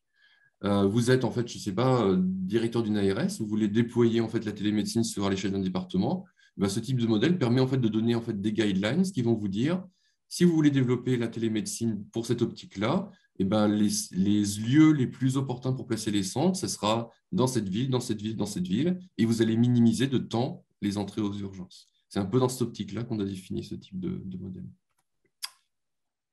Je vais finir avec, euh, je ne regarde pas le temps, j'espère que ça va. Vous, m'interrompez si je suis trop long. Euh, je vais finir en fait par la dernière étude où j'ai passé un tout petit peu plus de temps justement parce que celle-ci, on ne l'avait jamais présentée encore, qui a été faite dans la dernière année du postdoc de la chaire, qui consistait en fait à évaluer la télémédecine dans le contexte de la COVID-19. Ici, l'objectif principal, c'était de faire une évaluation économique du recours à la téléconsultation avec deux stratégies principales. La stratégie innovante qui consiste à recourir à la téléconsultation, une téléconsultation qui pouvait être de deux types, soit en vidéo ou téléphone, soit instrumentée à l'aide d'une sorte de cabine de téléconsultation telles qu'elles sont déployées dans plusieurs établissements dans la Loire. Nous avons une stratégie de contrôle qui était la consultation en présentiel classique. Dans un objectif secondaire, on a pu en fait développer une méthode un peu similaire à celle du, premier cas d'étude, qui est l'identification, le, dimensionnement et l'optimisation des ressources pour le déploiement de la télémédecine dans les établissements de santé. Et donc, euh, ceci validé grâce à une approche de modélisation et de simulation. Donc les données, en fait, on a travaillé pour ce projet sur les données de la clinique mutualiste de Saint-Étienne avec toutes les téléconsultations qui ont été réalisées, euh, donc sur la période du 20 mars jusqu'au 30 septembre 2020. Donc ces bases euh, rassemblent en fait toutes les informations qui, sur les téléconsultations qui ont été réalisées, leur type, euh, et donc permettent de caractériser en fait le flux de patients qui, ont, qui sont passés dans ces téléconsultations. L'hypothèse, c'est qu'une téléconsultation est toujours précédée au suivi d'un séjour hospitalier. en fait, ce critère d'exclusion est indispensable de manière à apparier en fait, les données relatives aux téléconsultes et les caractéristiques individuelles des patients, parce qu'en fait, la base des téléconsultations, pour rentrer un tout petit peu dans le détail, était disjointe en fait de notre base d'hospitalisation. Et pour avoir un minimum d'infos sur, les patients, nous devions en fait euh, prendre cette hypothèse-là de, lier les deux événements. Euh, et donc, euh, pour le contrôle, en fait, comme on n'avait pas d'équivalent au même moment, parce que vous le saviez, en mars 2020, on était tous confinés, donc on n'avait pas vraiment d'éléments de, comparaison à un autre endroit, on a choisi en fait de prendre pour la stratégie de contrôle une période antérieure. Donc en fait, on a pris euh, la même période, mais en 2019, pour pouvoir comparer euh, notre, approche. Donc le modèle de parcours est assez simple. Donc là, je vous présente la version logigramme simplifiée. Vous avez en fait euh, l'origine des patients. le patient va être éligible ou non à la téléconsultation. S'il n'est pas éligible, il va faire sa consultation classique. S'il est éligible, il va avoir deux choix possibles. Soit il va avoir une téléconsultation via une vidéo ou un coup de téléphone, soit il va avoir une, consultation via une station de, téléconsultation qui va être disponible dans un établissement particulier. Ensuite, vous avez des, euh, petits aléas qui peuvent survenir. Par exemple, à la suite d'une téléconsultation, il est peut-être nécessaire de, de, transférer le patient dans tous les cas à la consulte parce qu'on se rend compte qu'il y avait un, un problème à traiter rapidement. Donc là, on va revenir à l'étape consultation. On peut aussi avoir des problèmes en fait d'arrêt maladie ou autre, ou d'indisponibilité de ressources qui vont aussi entraîner éventuellement des retards sur les téléconsultations. Donc, on a deux types de résultats, des résultats d'analyse médico-économique, parce que le postdoc, on a, en fait, on a eu, je ne vous l'ai pas expliqué, on a eu deux postdocs cette période. un premier profil qui était plutôt euh, génie industriel, recherche opérationnelle, et un deuxième profil plutôt médico-éco, mais qui a aussi tapé un peu le terrain du génie industriel. Euh, ce qui est bien, c'est qu'on a une jolie étude avec les deux volets qui, qui a été publié. Le premier volet, ça va être sur l'analyse de coûts, où on, fait, le, on a pu en fait évaluer le coût réel de téléconsultation euh, ou de consultation classique et pouvoir comparer un petit peu tout cela de, manière à pouvoir avoir une, vue globale sur ce qui se passe. Et notamment aussi, hein, on a pu réaliser des diagrammes, comme vous le voyez sur la droite, de type tornado, qui vont nous permettre en fait d'évaluer l'impact sur le coût de différentes composantes, euh, sous-composantes du coût. Donc, euh, vous voyez ici, par exemple, que ce qui impacte le plus le coût, ça va être notamment bah, le transport médical, qui va impacter grandement en fait, le coût, notamment dans le cas de la consultation. Euh, et puis, vous avez aussi tout ce qui va être la dépréciation du matériel, c'est-à-dire que lorsque ça, ça vient principalement en fait, de la modalité euh, de téléconsultation par des stations, le matériel, en fait, il faut qu'il soit rentabilisé et du coup, euh, l'utilisation est très importante de ce côté-là. Et donc, dans une deuxième partie, on a fait également un aspect évaluation de performance. Donc là, on s'est penché sur un modèle tel que je vous l'ai présenté jusqu'à maintenant et qui a été évalué par la simulation. Donc ici, on a eu de la même manière que tout à l'heure, hein, c'est toujours un peu les mêmes approches. On va avoir un plan d'expérience avec un scénario de base que sur la colonne de gauche et quatre expérimentations qui vont être des variations de ce qui peut se passer dans les, euh, dans les différentes configurations du territoire. Et donc ici, ce qui est intéressant, c'est qu'on a pu faire varier notamment la, demande en fonction du type de téléconsultation ou de consultation classique qui va être réalisée, de manière à avoir finalement euh, des effets de seuil sur bah, combien de demandes sur un territoire seraient nécessaires pour que tel type de téléconsultation soit rentable euh, à mettre en place sur une période donnée, en fait. Donc ça, c'est hyper intéressant parce que ça nous permet vraiment d'avoir une vision un petit peu stratégique aussi sur le déploiement de ce type de solution et sur des, à partir de données réelles, sur les leviers et les seuils qui sont intéressants pour pouvoir prendre des décisions de, mise en place. En fait. Donc ça, c'est vraiment intéressant. On a aussi fait des petites variations très intéressantes sur le type de territoire et notamment la population. On a regardé qu'est-ce qui était plus intéressant comme euh, solution innovante pour des populations plus âgées, donc plus de 80 ans, pour des populations plus rurales, c'est-à-dire qui habitent en général à plus de 20 km, par exemple, d'un hôpital, et ainsi de suite, de manière à voir aussi, en fonction de la typologie de territoire, quelles seraient les meilleures solutions à mettre en place. Donc, les résultats de base, en fait, c'est ce que vous voyez un petit peu sur la droite. Je ne rentre pas dans tous les détails, hein, mais en gros, ce que vous voyez ici, euh, c'est en ordonnée, ça va être par exemple les différents indicateurs de performance qu'on a retenus. Donc, par exemple, le coût total de la mise en place de la euh, téléconsultation que vous voyez en, ordonnée. Et en fait, en abscisse, vous allez voir en fait toutes les combinaisons de scénarios qu'on a testées. Donc, en fait, ça va être un triplé qui va être constitué de la probabilité de, recourir à tel ou tel type de téléconsultation. Et donc là, vous voyez que le modèle nous permet de classer en fait ces solutions de la moins chère à la plus chère et de regarder en fait dans quel cas, de, bah, en fait, euh, quelle est la solution la plus rentable en fonction d'un territoire donné. Euh, donc, euh, voilà un exemple de résultat. Ici, vous avez ici euh, également des résultats qui vont concerner le temps total de trajet et les solutions en fait, qui permettent de minimiser cet objectif-là. Ou encore l'occupation des ressources. Donc, quelles sont aussi les solutions qui permettent de minimiser l'utilisation des ressources en fonction du temps passé en fait, sur les différentes modalités. Et donc, comme d'habitude, hein, vous avez maintenant compris, hein, ces objectifs sont contradictoires, donc il n'y a pas une, seule vérité mais il y a effectivement un mix de tout cela, donc un mix de plusieurs solutions à trouver pour pouvoir euh, euh, trouver la meilleure, le meilleur déploiement de la télémédecine euh, sur un territoire. Ici, c'est des résultats aussi qui sont vraiment intéressants. On s'est rendu compte finalement dans les premiers résultats, je reviens juste en arrière, que la solution la moins chère finalement, c'est de mettre que de la, de la téléconsultation par téléphone. Ça paraît assez logique, c'est vraiment la solution qui coûte la moins chère, mais finalement qui est peut-être aussi la moins qualitative, parce qu'on a moins de, d'infos qui passent, on a moins de qualitatif de ce côté-là. Donc, ce qui était intéressant, c'est de regarder, euh, on, s'est posé la question, si vous voulez, de quelle était la configuration de territoire et surtout quelle était la demande nécessaire pour pouvoir mettre en place des solutions plus qualitatives, comme l'était par exemple la station de consultation. Et donc là, c'est hyper intéressant. Vous voyez qu'on est capable sur ces petits graphiques de ce côté-là, en fonction du volume de téléconsultation sur 5 ans qu'on peut simuler en fait au besoins. Donc, c'est des choses qu'on peut mettre en entrée du modèle. Et ben, on est capable de, définir des niveaux de seuil qui vont nous dire, bah là, il nous faut, par exemple dans cet exemple-là, il nous faudrait par exemple 13 600 téléconsultations via des stations sur ces cinq prochaines années pour pouvoir faire en sorte que ce mode de téléconsultation soit rentable en fait. Et donc ça, ça nous permet de donner des targets un petit peu, d'objectifs qui vont nous permettre de voir un petit peu comment est-ce qu'on peut s'en sortir. D'une manière un peu plus détaillée, c'est ce qu'on a appelé des niveaux de des break-even levels, c'est-à-dire euh, à quel niveau de charge on va avoir, en fonction de la population qui va être prise en compte, euh, bah, des solutions qui vont être plus ou moins rentables. Et donc, vous voyez que, par exemple, pour mettre en place une visio classique, on a besoin d'avoir une à trois euh, consultations par jour pour que ça soit rentable. Par contre, pour des stations de consultation, on est déjà à trois minimum euh, dans des populations euh, suburbaines euh, avec des, des, résidences de type EHPAD. C'est là où ça marchait le mieux finalement. Mais sur des, sur des populations générales, on va dire, il faut monter jusqu'à 10 par jour pour avoir quelque chose qui est plus rentable. Donc ça, c'est vraiment des choses qu'on n'aurait pas pu deviner en fait juste avec les données, qui sont très intéressantes s'il y a un autre territoire ou même si la Loire veut continuer à se déployer ces solutions et dont on peut s'inspirer pour prendre de la décision stratégique.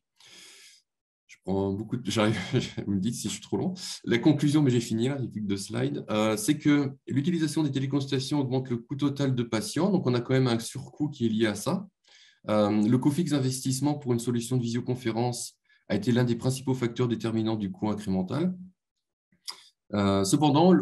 en fait, l'effet, ça coûte plus cher, c'est surtout parce qu'il y en a eu beaucoup plus et de manière très brutale à cause du Covid. Donc ça, c'est un petit billet qu'on avait dans l'étude, qu'on a souligné dans la discussion, c'est que le coût supplémentaire, c'est surtout qu'on a un nombre plus élevé de téléconsultations par patient. qu'un même patient, plutôt d'aller une fois à l'hôpital, il va appeler quatre fois son médecin, parce que c'est plus facile, c'est plus rapide. Et ça, c'est des phénomènes qu'on avait déjà observés, notamment quand on avait observé la plateforme Domoplay,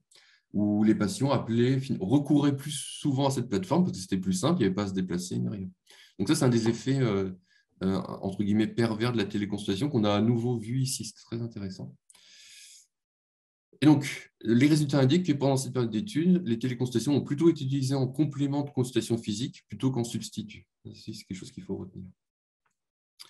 Euh, et donc, l'autre conclusion sur l'autre volet, je ne vais pas tout vous lire, vous inquiétez pas, c'est qu'on a développé en fait un modèle qui permet d'évaluer les performances. Et donc, ces modèles en fait permettent justement d'évaluer différents scénarios de déploiement et surtout de définir euh, bah, des seuils de rentabilité de mise en place de téléconsultation à l'échelle d'un territoire. Et donc, ça, c'est des outils euh, complètement innovants qui ont été créées dans le cadre de cette chaire.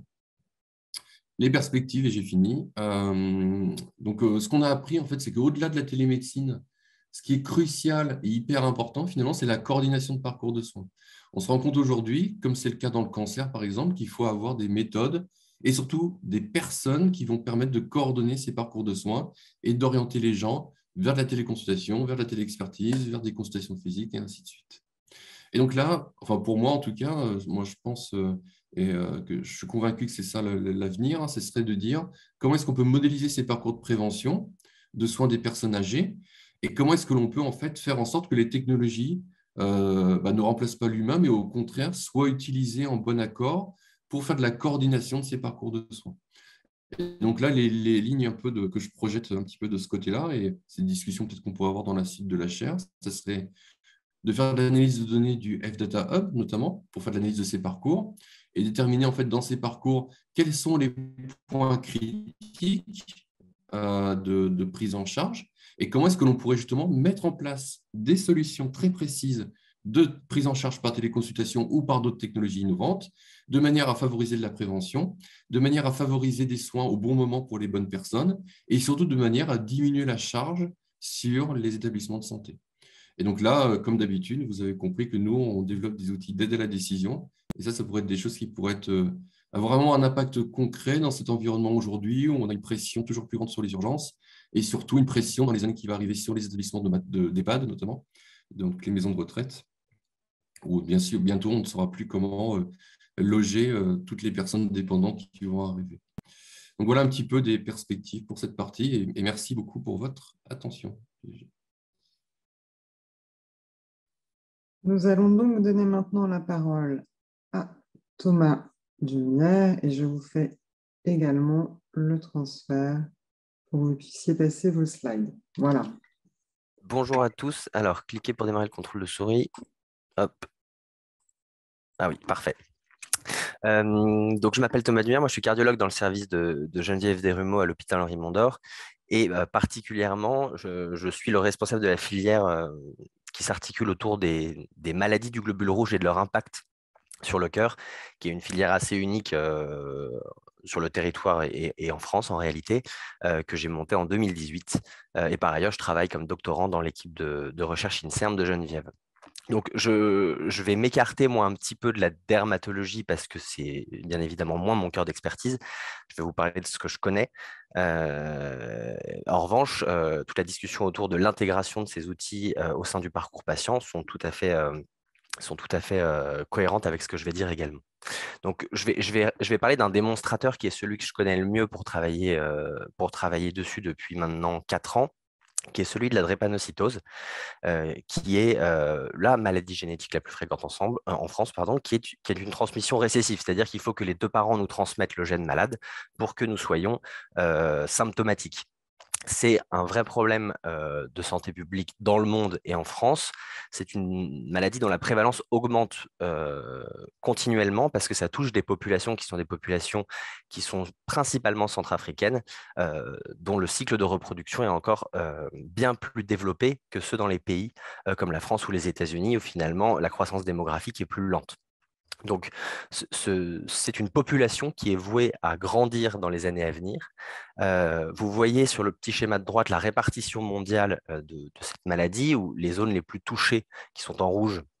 où la prévalence est la plus importante, c'est l'Afrique subsaharienne. C'est l'endroit où la maladie s'est développée parce qu'elle conférait une forme de protection au paludisme. Donc, par des jeux de pression de sélection, en fait, les gens ne mouraient plus du paludisme et ils survivaient avec la maladie, ils pouvaient se reproduire avec la maladie. Et ensuite, avec les courants bah, de l'esclavagisme, hein, principalement, la maladie s'est répandue beaucoup aux États-Unis et dans les pays européens, mais surtout la France en réalité c'est une maladie qui touche le globule rouge et c'est important de le comprendre parce que qui dit globule rouge dit quelque chose de très systémique. c'est une maladie qui va toucher l'ensemble de l'organisme. Il y a une malformation du globule rouge qui se met en place, parfois une destruction du globule rouge. Ça reste finalement l'entité qui transporte l'oxygène, donc on peut assez vite comprendre qu'il va y avoir rapidement une grande situation de souffrance et de vulnérabilité de l'organisme de ces patients c'est une population qui a vu sa, sa survie augmenté considérablement ces 40 dernières années par des bouleversements de prise en charge, hein, notamment la découverte de leur susceptibilité aux infections et donc finalement des traitements préventifs par antibiotiques. On voit très bien sur les courbes de survie à gauche des populations drépanocytaires américaines qui avaient une espérance de vie autour de 10 à 20 ans dans les années 60. Donc c'était vraiment une population extrêmement vulnérable. on voit que certaines innovations prise en charge comme les antibiotiques, des traitements plus innovants comme l'hydroxyurée, qui stimulent un petit peu l'hémoglobine fétale, ou des transfusions itératives ont permis de progressivement augmenter cette espérance de vie qui aujourd'hui dans les pays développés se situe quelque part entre 40 et 50 ans. Euh, ce qui n'est absolument pas le cas euh, dans les pays plus défavorisés d'Afrique centrale où il y a encore une mortalité infantile énorme cette évolution de, survie euh, au sein des populations américaines, on a vécu à peu près la même en France, où on voit bien là, les données euh, d'épidémiologie française, où on voit que globalement euh, la distribution en âge de la population tend à se décaler vers la droite. Et là, les, les datas les plus récentes sur une population 2000-2010, vous voyez que c'est la répartition en grise qui, comparativement à celle en bleu, on voit bien que l'âge médian euh, se décale vers la droite euh, grâce à des euh, circuits de soins et à des expertises qui se sont développées qui permettent vraiment d'améliorer la prise en charge de ces patients. C'est une pathologie, donc, comme je vous l'ai dit, qui est systémique, qui va toucher absolument tous les organes. je ne vais pas les lister un par un, ça n'a pas de sens, mais vous voyez à droite un, schéma qui résume assez bien les choses. Ce sont des patients qui sont hyper médicalisés. Pourquoi? Parce qu'ils ont des complications aiguës et des complications chroniques d'organes qui touchent le cerveau, le cœur, le poumon, le rein pour les principales atteintes, euh, mais également euh, les os et la peau, et ça pour le fonctionnel, c'est aussi un énorme handicap. Donc c'est une maladie qui est associée à une morbimortalité énorme, et ce sont des gens qui sont extrêmement vulnérables, vulnérables aux infections, vulnérables euh, en termes de pathologie cardiovasculaire, et vulnérables en termes de mortalité parce qu'ils meurent beaucoup plus jeunes. Donc compte tenu de ça, forcément, c'est une, euh, une, euh, une, pathologie qui a été inscrite rapidement comme une priorité de santé publique par la, morbimortalité élevée et par aussi les coûts de santé que ça implique, parce que ce sont des patients qui sont hyper médicalisés et dont le, le, les dépenses annuelles de santé pour, un patient lambda drépanocytaire vont être six fois plus élevées qu'une personne normale, indexées à l'âge, hein, ce sont des populations jeunes. Euh, ce qui, ça, ce sont des données de, la sécurité sociale, euh, ce qui présente un enjeu d'améliorer et de fluidifier la prise en charge de ces patients, euh, rien que pour réduire le, coût de santé associé. Alors, c'est pas ça que je voulais vous montrer ici dans tout ça, dans toute cette pathologie, euh, grâce, je vous l'ai dit, aux antibiotiques et grâce à une amélioration de la prise en charge, maintenant la population vieillit. Alors vieillit, c'est un grand mot parce que finalement, euh, les, vieux patients drépanocytaires ont autour de 50 ans. Euh, et donc, ça démasque aussi des vulnérabilités nouvelles qu'on connaissait assez mal finalement il y a 20 ans. Et on se rend compte aujourd'hui dans des pays qui bénéficient d'une prise en charge optimisée, que maintenant, ce qui va tuer les malades, ce sont les atteintes, les, conséquences cardiovasculaires et cérébrales de cette maladie qui représente globalement 20 à 30% des décès aujourd'hui, ce, qui, est colossal, sachant qu'il y a une autre entité, une autre cause de mortalité qui reste assez euh, mystérieuse qui est de la mort subite. Il faut bien comprendre que 15 à 25% des patients drépanocytaires, en fonction des séries, en fonction des pays, euh, sont victimes d'une mort subite, c'est-à-dire finalement d'une mort euh, soit au domicile, soit 24 heures après l'admission à l'hôpital qu'on n'explique pas forcément, et dont on suspecte très fortement sur les séries autopsiques qu'une grande partie soit imputable à une complication cardiovasculaire. Donc finalement, quand on fait un petit peu l'association de tout ça, le, problème, l'enjeu majeur de survie de ces malades tourne autour du système cardiovasculaire. Et donc, qu'est-ce qu'on a euh, fait euh, autour de cette problématique à, Henri Mondor? Moi, je suis arrivé en 2018 avec donc, la volonté de structurer une filière de soins et une filière d'expertise autour des atteintes cardiovasculaires, justement, de cette maladie qui a un champ euh, nouveau et très peu exploré. Euh, pour être honnête, il n'y a, pas beaucoup d'équipes euh, qui, sont spécialisées dans le monde autour de cette thématique. Il y a quelques équipes aux États-Unis. Et euh, en France, on est en train de s'imposer comme, la référence, sachant qu'on a un écosystème qui s'y prête bien parce que Henri Mondor est un centre national de référence de la prise en charge des syndromes drépanocytaires majeurs. Il y a plus de 3000 patients qui sont suivis à Henri Mondor, des patients adultes, ce qui rapidement a permis, euh, en, collaboration étroite avec le service qui est maintenant dirigé par euh, Pablo Bartolucci, de mettre en place une filière de soins dédiée, qu'on a appelée Drepacker, dédiée à l'exploration et à la prise en charge des atteintes cardiovasculaires de ces patients. On a actuellement plus de 200 patients suivis au sein de cette filière. Euh, et donc, on a dessiné les contours de tout un circuit de patients avec un hôpital de jour dédié. On a des explorations intégratives et multi-organes avec bien sûr une expertise forte sur le cardiovasculaire, mais sur lequel vient s'intégrer beaucoup d'autres spécialités pour avoir une vision un peu, peu globale du problème. Euh, et donc là, vous voyez simplement le, réseau qu'on a monté à Henri Mondor, mais qui finalement, en, mettant autour de la table des spécialistes du poumon, des spécialistes des vaisseaux et du cœur, les spécialistes de la maladie en elle-même, la drépanocytose, et des gens spécialisés dans le muscle et l'imagerie, on a finalement un, joli panel d'experts qui permet de mieux comprendre et de mieux appréhender une entité encore très, très trouble, qui est l'atteinte cardiovasculaire de cette, de cette maladie. La diapo. Et ce réseau, il faut bien comprendre forcément, donc c'est une file de soins avant tout, parce qu'on essaye de répondre à un enjeu de prise en charge qui est pour l'instant non répondu. Mais forcément maintenant, j'ai développé autour de, cette, de ce réseau de repackers J'y adossé un axe de recherche qui est absolument indispensable pour améliorer la compréhension et la prise en charge. On réfléchit beaucoup sur la caractérisation des problèmes cardiaques dans cette pathologie, qui encore une fois extrêmement atypique et difficile à appréhender. On travaille beaucoup sur l'exercice physique et l'impact positif que ça peut avoir dans ces populations alors que ça a été très longtemps contre-indiqué, euh, sur les anomalies rythmiques dont je reparlerai derrière. Et grâce à cette expertise croissante, à cette file active de patients et finalement à une reconnaissance qui commence à, s'installer, on est maintenant euh, dans le service co-investigateur des grandes études internationales euh, industrielles sur les nouvelles thérapies innovantes et leur impact positif ou négatif d'ailleurs, parce qu'on ne le sait pas, on le teste, sur le système cardiovasculaire. Donc là, j'ai mis les noms Hemoproof, Crosswall, Steadfast et SCDCare. C'est juste les noms des grandes études actuelles sur lesquelles on est co-investigateur qui testent des molécules innovantes dans cette pathologie et pour lesquelles on a encore beaucoup d'espoir et pas beaucoup de réponses. Donc on est en train vraiment de s'inscrire dans, le, dans, le, dans la compréhension et dans l'amélioration des soins cardiaques chez ces malades. À côté de ça, euh, en quatre ans, on a monté, on a développé une expertise forte qui a permis de, convertir ce savoir accumulé en enseignement et en restitution par l'enseignement et la diffusion du savoir notamment avec une présence à beaucoup de congrès internationaux, que ce soit le congrès canadien d'hématologie où j'avais été invité pour, pour parler justement des atteintes particulières cardiovasculaires. On a parlé au congrès européen et français de cardiologie en 2020 et 2021. J'ai encadré cinq thèses d'exercice, cinq thèses de doctorat en médecine entre 2019 et 2022, tous spécialisés sur l'atteinte cardiaque de la, de la drépanocytose. Et j'enseigne maintenant sur,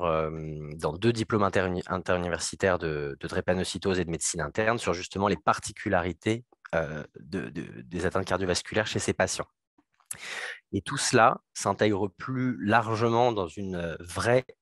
problématique de soins territoriales. et on a intégré en 2020, le réseau de a intégré un réseau, une fédération large qui s'appelle la Fédération érythrocyte et drépanocytose du Grand Paris, qui est en fait une fédération qui est pilotée par Pablo Bartolucci, qui est donc le chef de service de l'unité des maladies du globule rouge d'Henri Mondor, et qui est euh, une sorte de regroupement de, centres d'excellence, que ce soit des centres de recherche fondamentale ou des centres de soins, euh, mais qui permet de mettre autour de la table euh, énormément d'experts d'Île-de-France au sens large, avec une ambition d'avoir des expertises très pointues dans la transfusion, dans la thérapie génique et les nouvelles thérapies innovantes qui arrivent. et il y a de ces des projets de recherche forts. Comment on a intégré ce réseau? On l'a intégré comme, une expertise cardiovasculaire nationale pour ces patients, ce qui nous permet bah, tous les mois maintenant d'avoir une réunion avec des gens, qui, avec des experts, enfin des professionnels de santé qui prennent en charge ces patients lourds, qui n'ont pas forcément l'expertise locale cardiovasculaire et, ça nous permet d'échanger, voire même parfois de réadresser vers nous ces patients pour creuser et essayer de comprendre. On est encore dans une thématique qui est à la fois dans le soin mais dans la recherche, tellement la compréhension en est finalement à son début. Donc forcément, euh, euh, au-delà des différents aspects de recherche et d'enseignement, euh, forcément, on, ne peut pas travailler de façon isolée sur l'organe sur lequel on est expert, qui est finalement le cœur et les vaisseaux, parce que, comme vous l'avez compris par les slides d'avant, c'est une maladie systémique. Donc, bien souvent, les gens qui ont un cœur malade, on va retrouver un rein malade, on va retrouver un cerveau malade, car les vaisseaux sont absolument partout et ils sont usés par la maladie. Donc, on a des interfaces très fortes avec les services de médecine interne, de néphrologie, de neurologie. Il y a déjà même des cohortes qui existent avec des parcours de soins qui, à l'image de ce que je, enfin à l'image, qui, parallèlement à ce que j'ai fait, euh, se sont développés également dans les autres spécialités, notamment le parcours de neurologie. Donc là, maintenant, il y a, quasiment 1500 euh, patients qui sont dans cette cohorte de, neuropathie vraiment associée à la drépanocytose, qui s'appelle PC-DREP, et qui est vraiment une, mine euh, d'or en termes d'amélioration des soins et de compréhension de la maladie. des interactions très fortes avec la réanimation parce que c'est des patients qui sont très souvent hospitalisés et très souvent hospitalisés dans des conditions sévères. Il y a une, ambition également intéressante et, un parcours qui se dessine, c'est autour de la thématique de l'approche transgénérationnelle de la drépanocytose parce que c'est une maladie donc forcément génétique. Donc l'approche mère-enfant est fondamentale, ce d'autant que les patientes enceintes souvent décompensent leur maladie et les enfants qui naissent sont souvent malades avec des accouchements compliqués et une prise en charge post-accouchement qui est, qui est technique et encore mal connue. donc tout ça s'intègre vraiment dans une approche systémique et très transdisciplinaire à Henri Mondor et plus largement maintenant sur le territoire. Donc, je vais parler d'une problématique si j'y arrive. Voilà. Donc la problématique de la santé numérique dans la drépanocytose, c'est une problématique intéressante parce que c'est une population extrêmement vulnérable, qui l'est même plus que, des patients entre guillemets simplement âgés et qui sont très jeunes. Donc c'est une, une génération de digital natives qui sont extrêmement malades euh, et donc qui sont des candidats assez idéaux pour, des approches numériques parce qu'ils connaissent très bien les outils numériques, ils ont l'habitude de les manipuler au quotidien, contrairement à des personnes âgées pour lesquelles ça peut être un petit peu plus difficile. Attendez, ça passe tout seul, je reviens en arrière.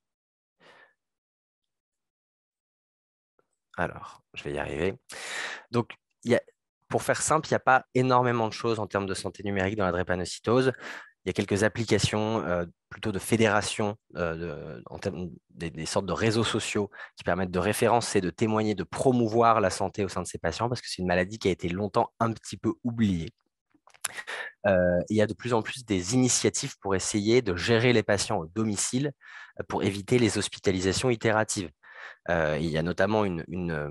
innovation mondorienne, si je puis dire, où il y a un réseau qui s'appelle Drepadom qui s'est développé bah, là aussi sous l'impulsion du Covid euh, pour essayer de prendre en charge les crises de ces patients qui ont des crises douloureuses qui sont extrêmement importantes, qui nécessitent souvent le recours au morphinique, et pour essayer de prendre en charge ces patients plutôt au domicile avec des réseaux d'experts et un réseau de télexpertise et des experts mobilisables pour essayer d'éviter justement euh, les hospitalisations répétées.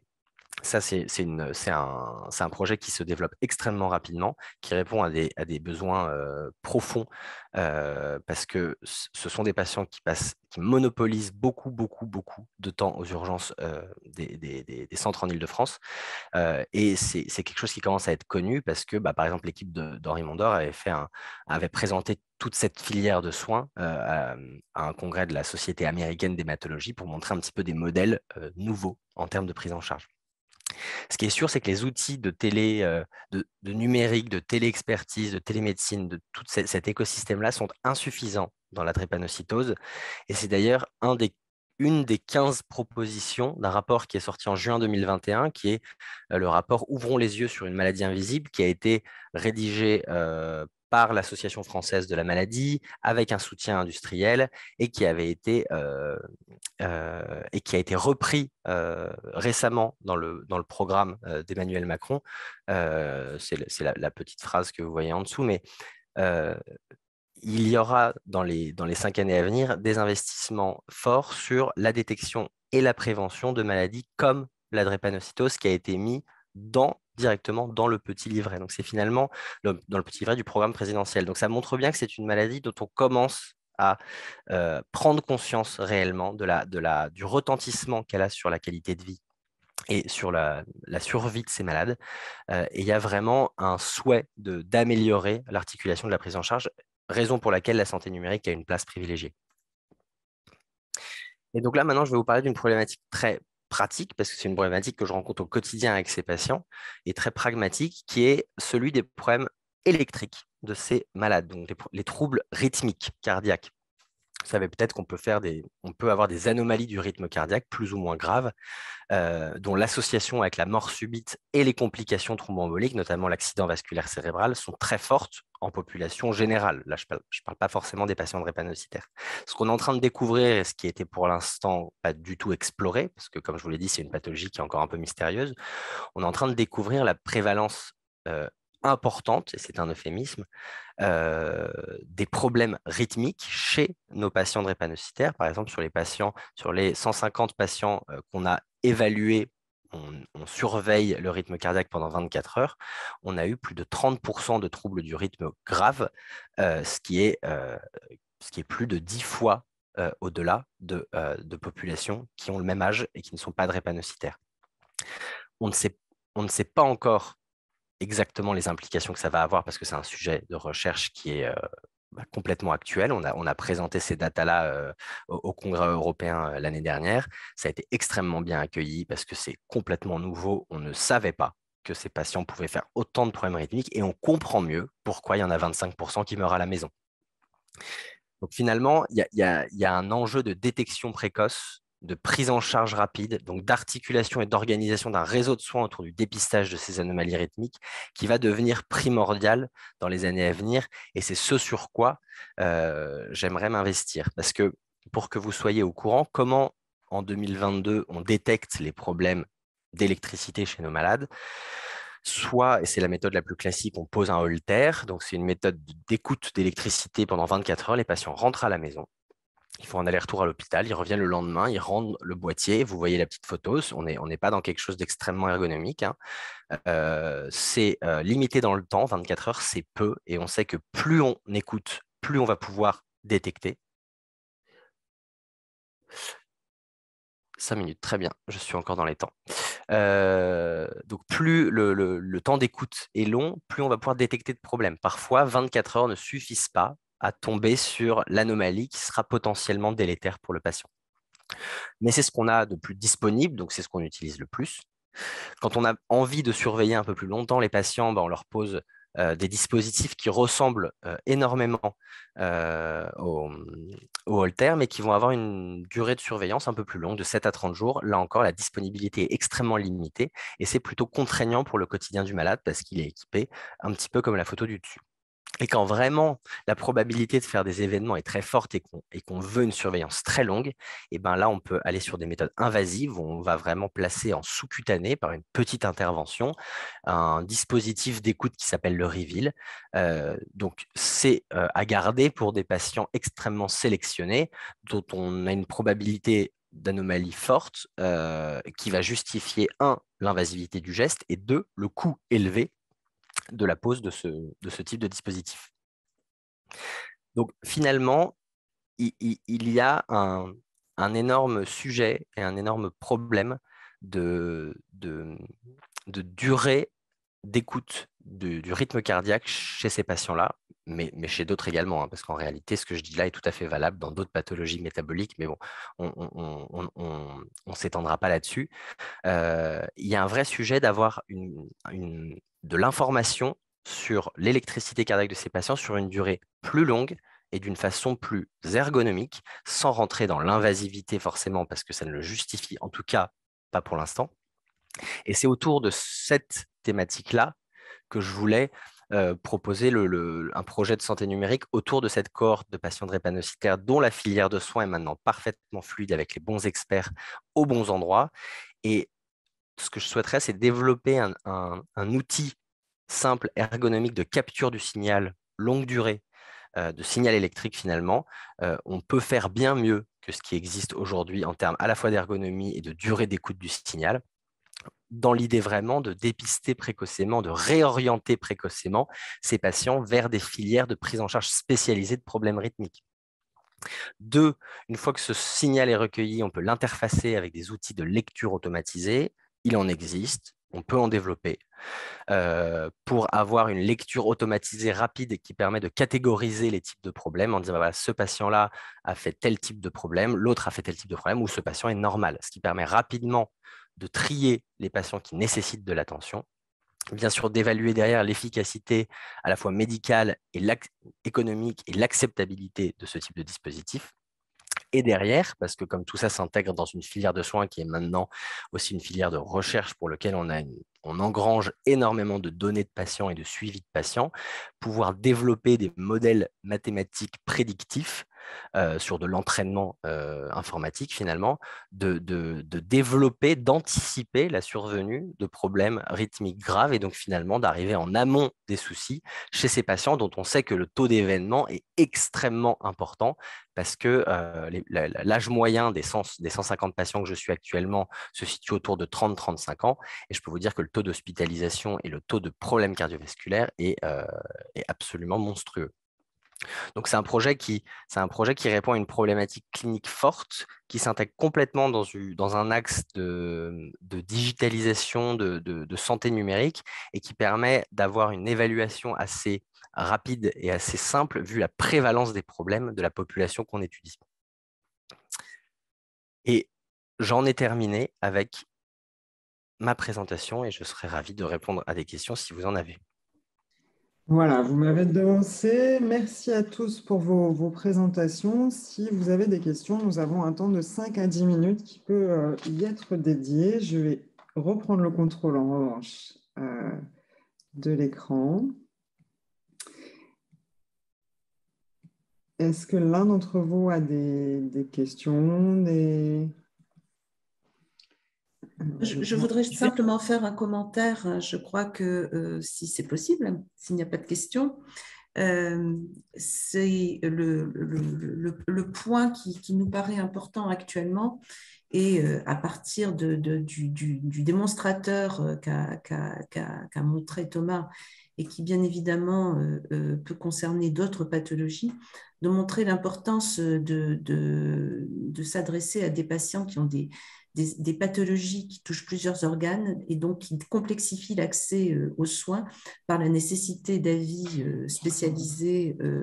multiples et que donc là, dans, un, dans, dans le premier temps de la téléconsultation, on dépasse le cadre de la consultation singulière sur un problème ponctuel avec un patient. Le deuxième point, c'est que c'est une pathologie euh, d'exemple qui montre bien euh, la nécessité d'avoir, d'apprécier les trajectoires de santé et euh, l'approche de, depuis la naissance jusqu'à malheureusement le décès sur une échelle de vie qui, est courte et qui donne des événements importants permet de mesurer l'efficacité, l'utilité de, ces prises en charge numériques.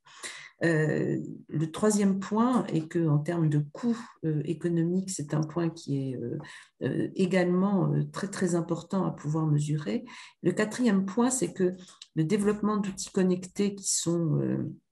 présents sur le marché, mais qui posent le problème de l'éthique, de l'utilisation et de l'intégration des données dans tous les contextes qui sont, sont effectivement, euh, qui relèvent de défis sociétaux autour de l'acceptabilité et de, de, l'utilisation et de l'intégration des données, euh, reste un enjeu et je pense que ça, c'est quelque chose qui va, un des volets euh, qui devra être abordé dans les futurs travaux de la, de la chaire. je ne sais pas si c'est quelque chose que vous partagez. Je crois que le, le principe de la santé numérique n'est plus tellement remis en question de nombreux rapports qui, montrent, et en particulier l'expérience du Covid, qui, a montré les limites du, système de santé tel qu'on le vit de façon euh, euh, traditionnelle. Euh, mais là, on est dans, des défis et dans des enjeux qui sont vraiment sur des, des, pathologies multiples dans des populations vulnérables ou rendues vulnérables euh, sur des trajectoires de santé qui sont importantes à prendre en compte. Merci beaucoup, euh, Geneviève. Je ne vois pas de questions. S'il n'y a pas de questions, je vous propose donc de donner la parole à Madame Lelouvier pour qu'elle puisse conclure. Si j'arrive à remettre, excusez-moi, correctement la présentation. Et voici. Marion, à vous la parole. Oui, bonjour et merci à, tous nos intervenants et puis à tous les, chercheurs qui ont euh, œuvré dans la, dans chaire depuis 2018. Euh, euh, je crois qu'on peut mentionner aussi Dilara Troupia dans, ses travaux. oui, pour ceux qui ont posé la question, oui, la présentation sera disponible. Euh, elle a, elle a, on, a, on, a, pu voir ce matin euh, l'ensemble euh, des travaux qui ont été menés sur l'année 2018-2021 et notamment tout ce qui a pu être testé en termes de, de, modèles, en termes de fiabilité de sources de données. il y a eu des confrontations de différentes approches sociologiques ou médico-économiques, par exemple, et puis aussi différentes spécialités qui ont été abordées, que ce soit, par exemple, la dermatologie euh, et, dans différentes étapes du parcours de soins. Je crois qu'on peut, on peut saluer le fait que pour certains travaux, on a, on a effectivement eu euh, des, retours et, un suivi euh, tout au long du projet, hein, puisque des ateliers du Fonds Avenir Santé Numérique avaient déjà été consacrés aux ateliers de la chaire. Et on peut aussi saluer le fait qu'il y ait des thématiques qui ont émergé pendant la période 2018-2021, qui ont orienté et alimenté les travaux comme euh, tout ce qui a pu être euh, étudié en télémédecine et, en urgence dans le cadre du, Covid-19. comme l'a évoqué le président Claude Sarcia, l'objectif de la chaire et ce qui va nous permettre de, conduire et de travailler dans le cadre du FASN, ce sont aussi, bien sûr, les demandes des membres du comité de gestion du Fonds, du Fonds Avenir Santé Numérique. Et et avec euh, le, président Claude Sarcia, je, porte aussi euh, la voix de l'ensemble du directoire de la Fondation de l'Avenir. Et nous travaillons avec euh, notre pôle recherche et innovation, notre pôle institutionnel, notre pôle développement et valorisation. C'est vraiment un travail collectif au sein de la Fondation pour répondre au mieux aux attentes de l'ensemble des financeurs. Ces financeurs étant, comme vous le savez, les acteurs des protections pour, prendre en compte effectivement mieux les personnes dans toute leur vulnérabilité qu'elles soient des vulnérabilités temporaires ou qu'elles soient des vulnérabilités euh, qu'on peut prédire, mais aussi des vulnérabilités euh, euh, qui arrivent et qui s'installent parfois plus rapidement que ce qu'on aurait espéré et pour plus longtemps que, ce qu'on pourrait apprécier. Donc, c'est important pour nous de travailler sur ces questions de protection avec un objectif commun, puisqu'on est dans le cadre d'une chaire, d'une excellence et d'une reconnaissance nationale et internationale. Et donc, cette excellence, elle se traduit dans le temps. Alors, on a décidé avec le directoire, euh, non pas vraiment de reconduire la chaire, mais plutôt de la renouveler avec une perspective de travaux qui porte sur le long terme, qui est une cohérence intrinsèque euh, dans ces travaux pour la période 2021 à 2024 et qui porte une vision qui ait le courage d'aborder un peu les points critiques et les difficultés critiques qu'on peut rencontrer dans les parcours, que les patients, les usagers, les professionnels peuvent rencontrer que chacun puisse euh, travailler effectivement comme on travaille aujourd'hui autour du patient, c'est-à-dire de manière euh, interdisciplinaire, de manière collaborative, de manière cohérente, euh, comme, comme les réunions de staff qui existent depuis longtemps sur les sujets complexes à l'hôpital. et puis qu'on ait vraiment effectivement cette approche holistique de santé globale, cette approche une seule santé. et, et, donc, on a devant nous un certain nombre de questions techniques, un certain nombre de questions médicales, scientifiques, éthiques, humaine, sociale, euh, juridique, euh, pour atteindre notre objectif euh, de la Fondation de l'avenir de contribuer à un véritable progrès médical qui puisse être partagé par tous et ici soutenu et appuyé sur la santé numérique.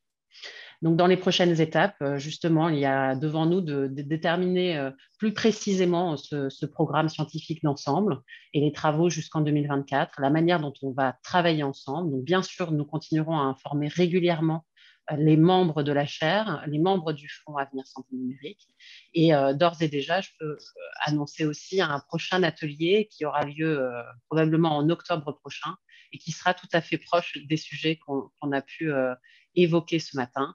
Euh, puisqu'on a, beaucoup, de, beaucoup à apprendre les uns des autres et beaucoup à partager. Voilà, donc merci beaucoup à tous et, à votre disposition, bien sûr, pour les prochaines étapes.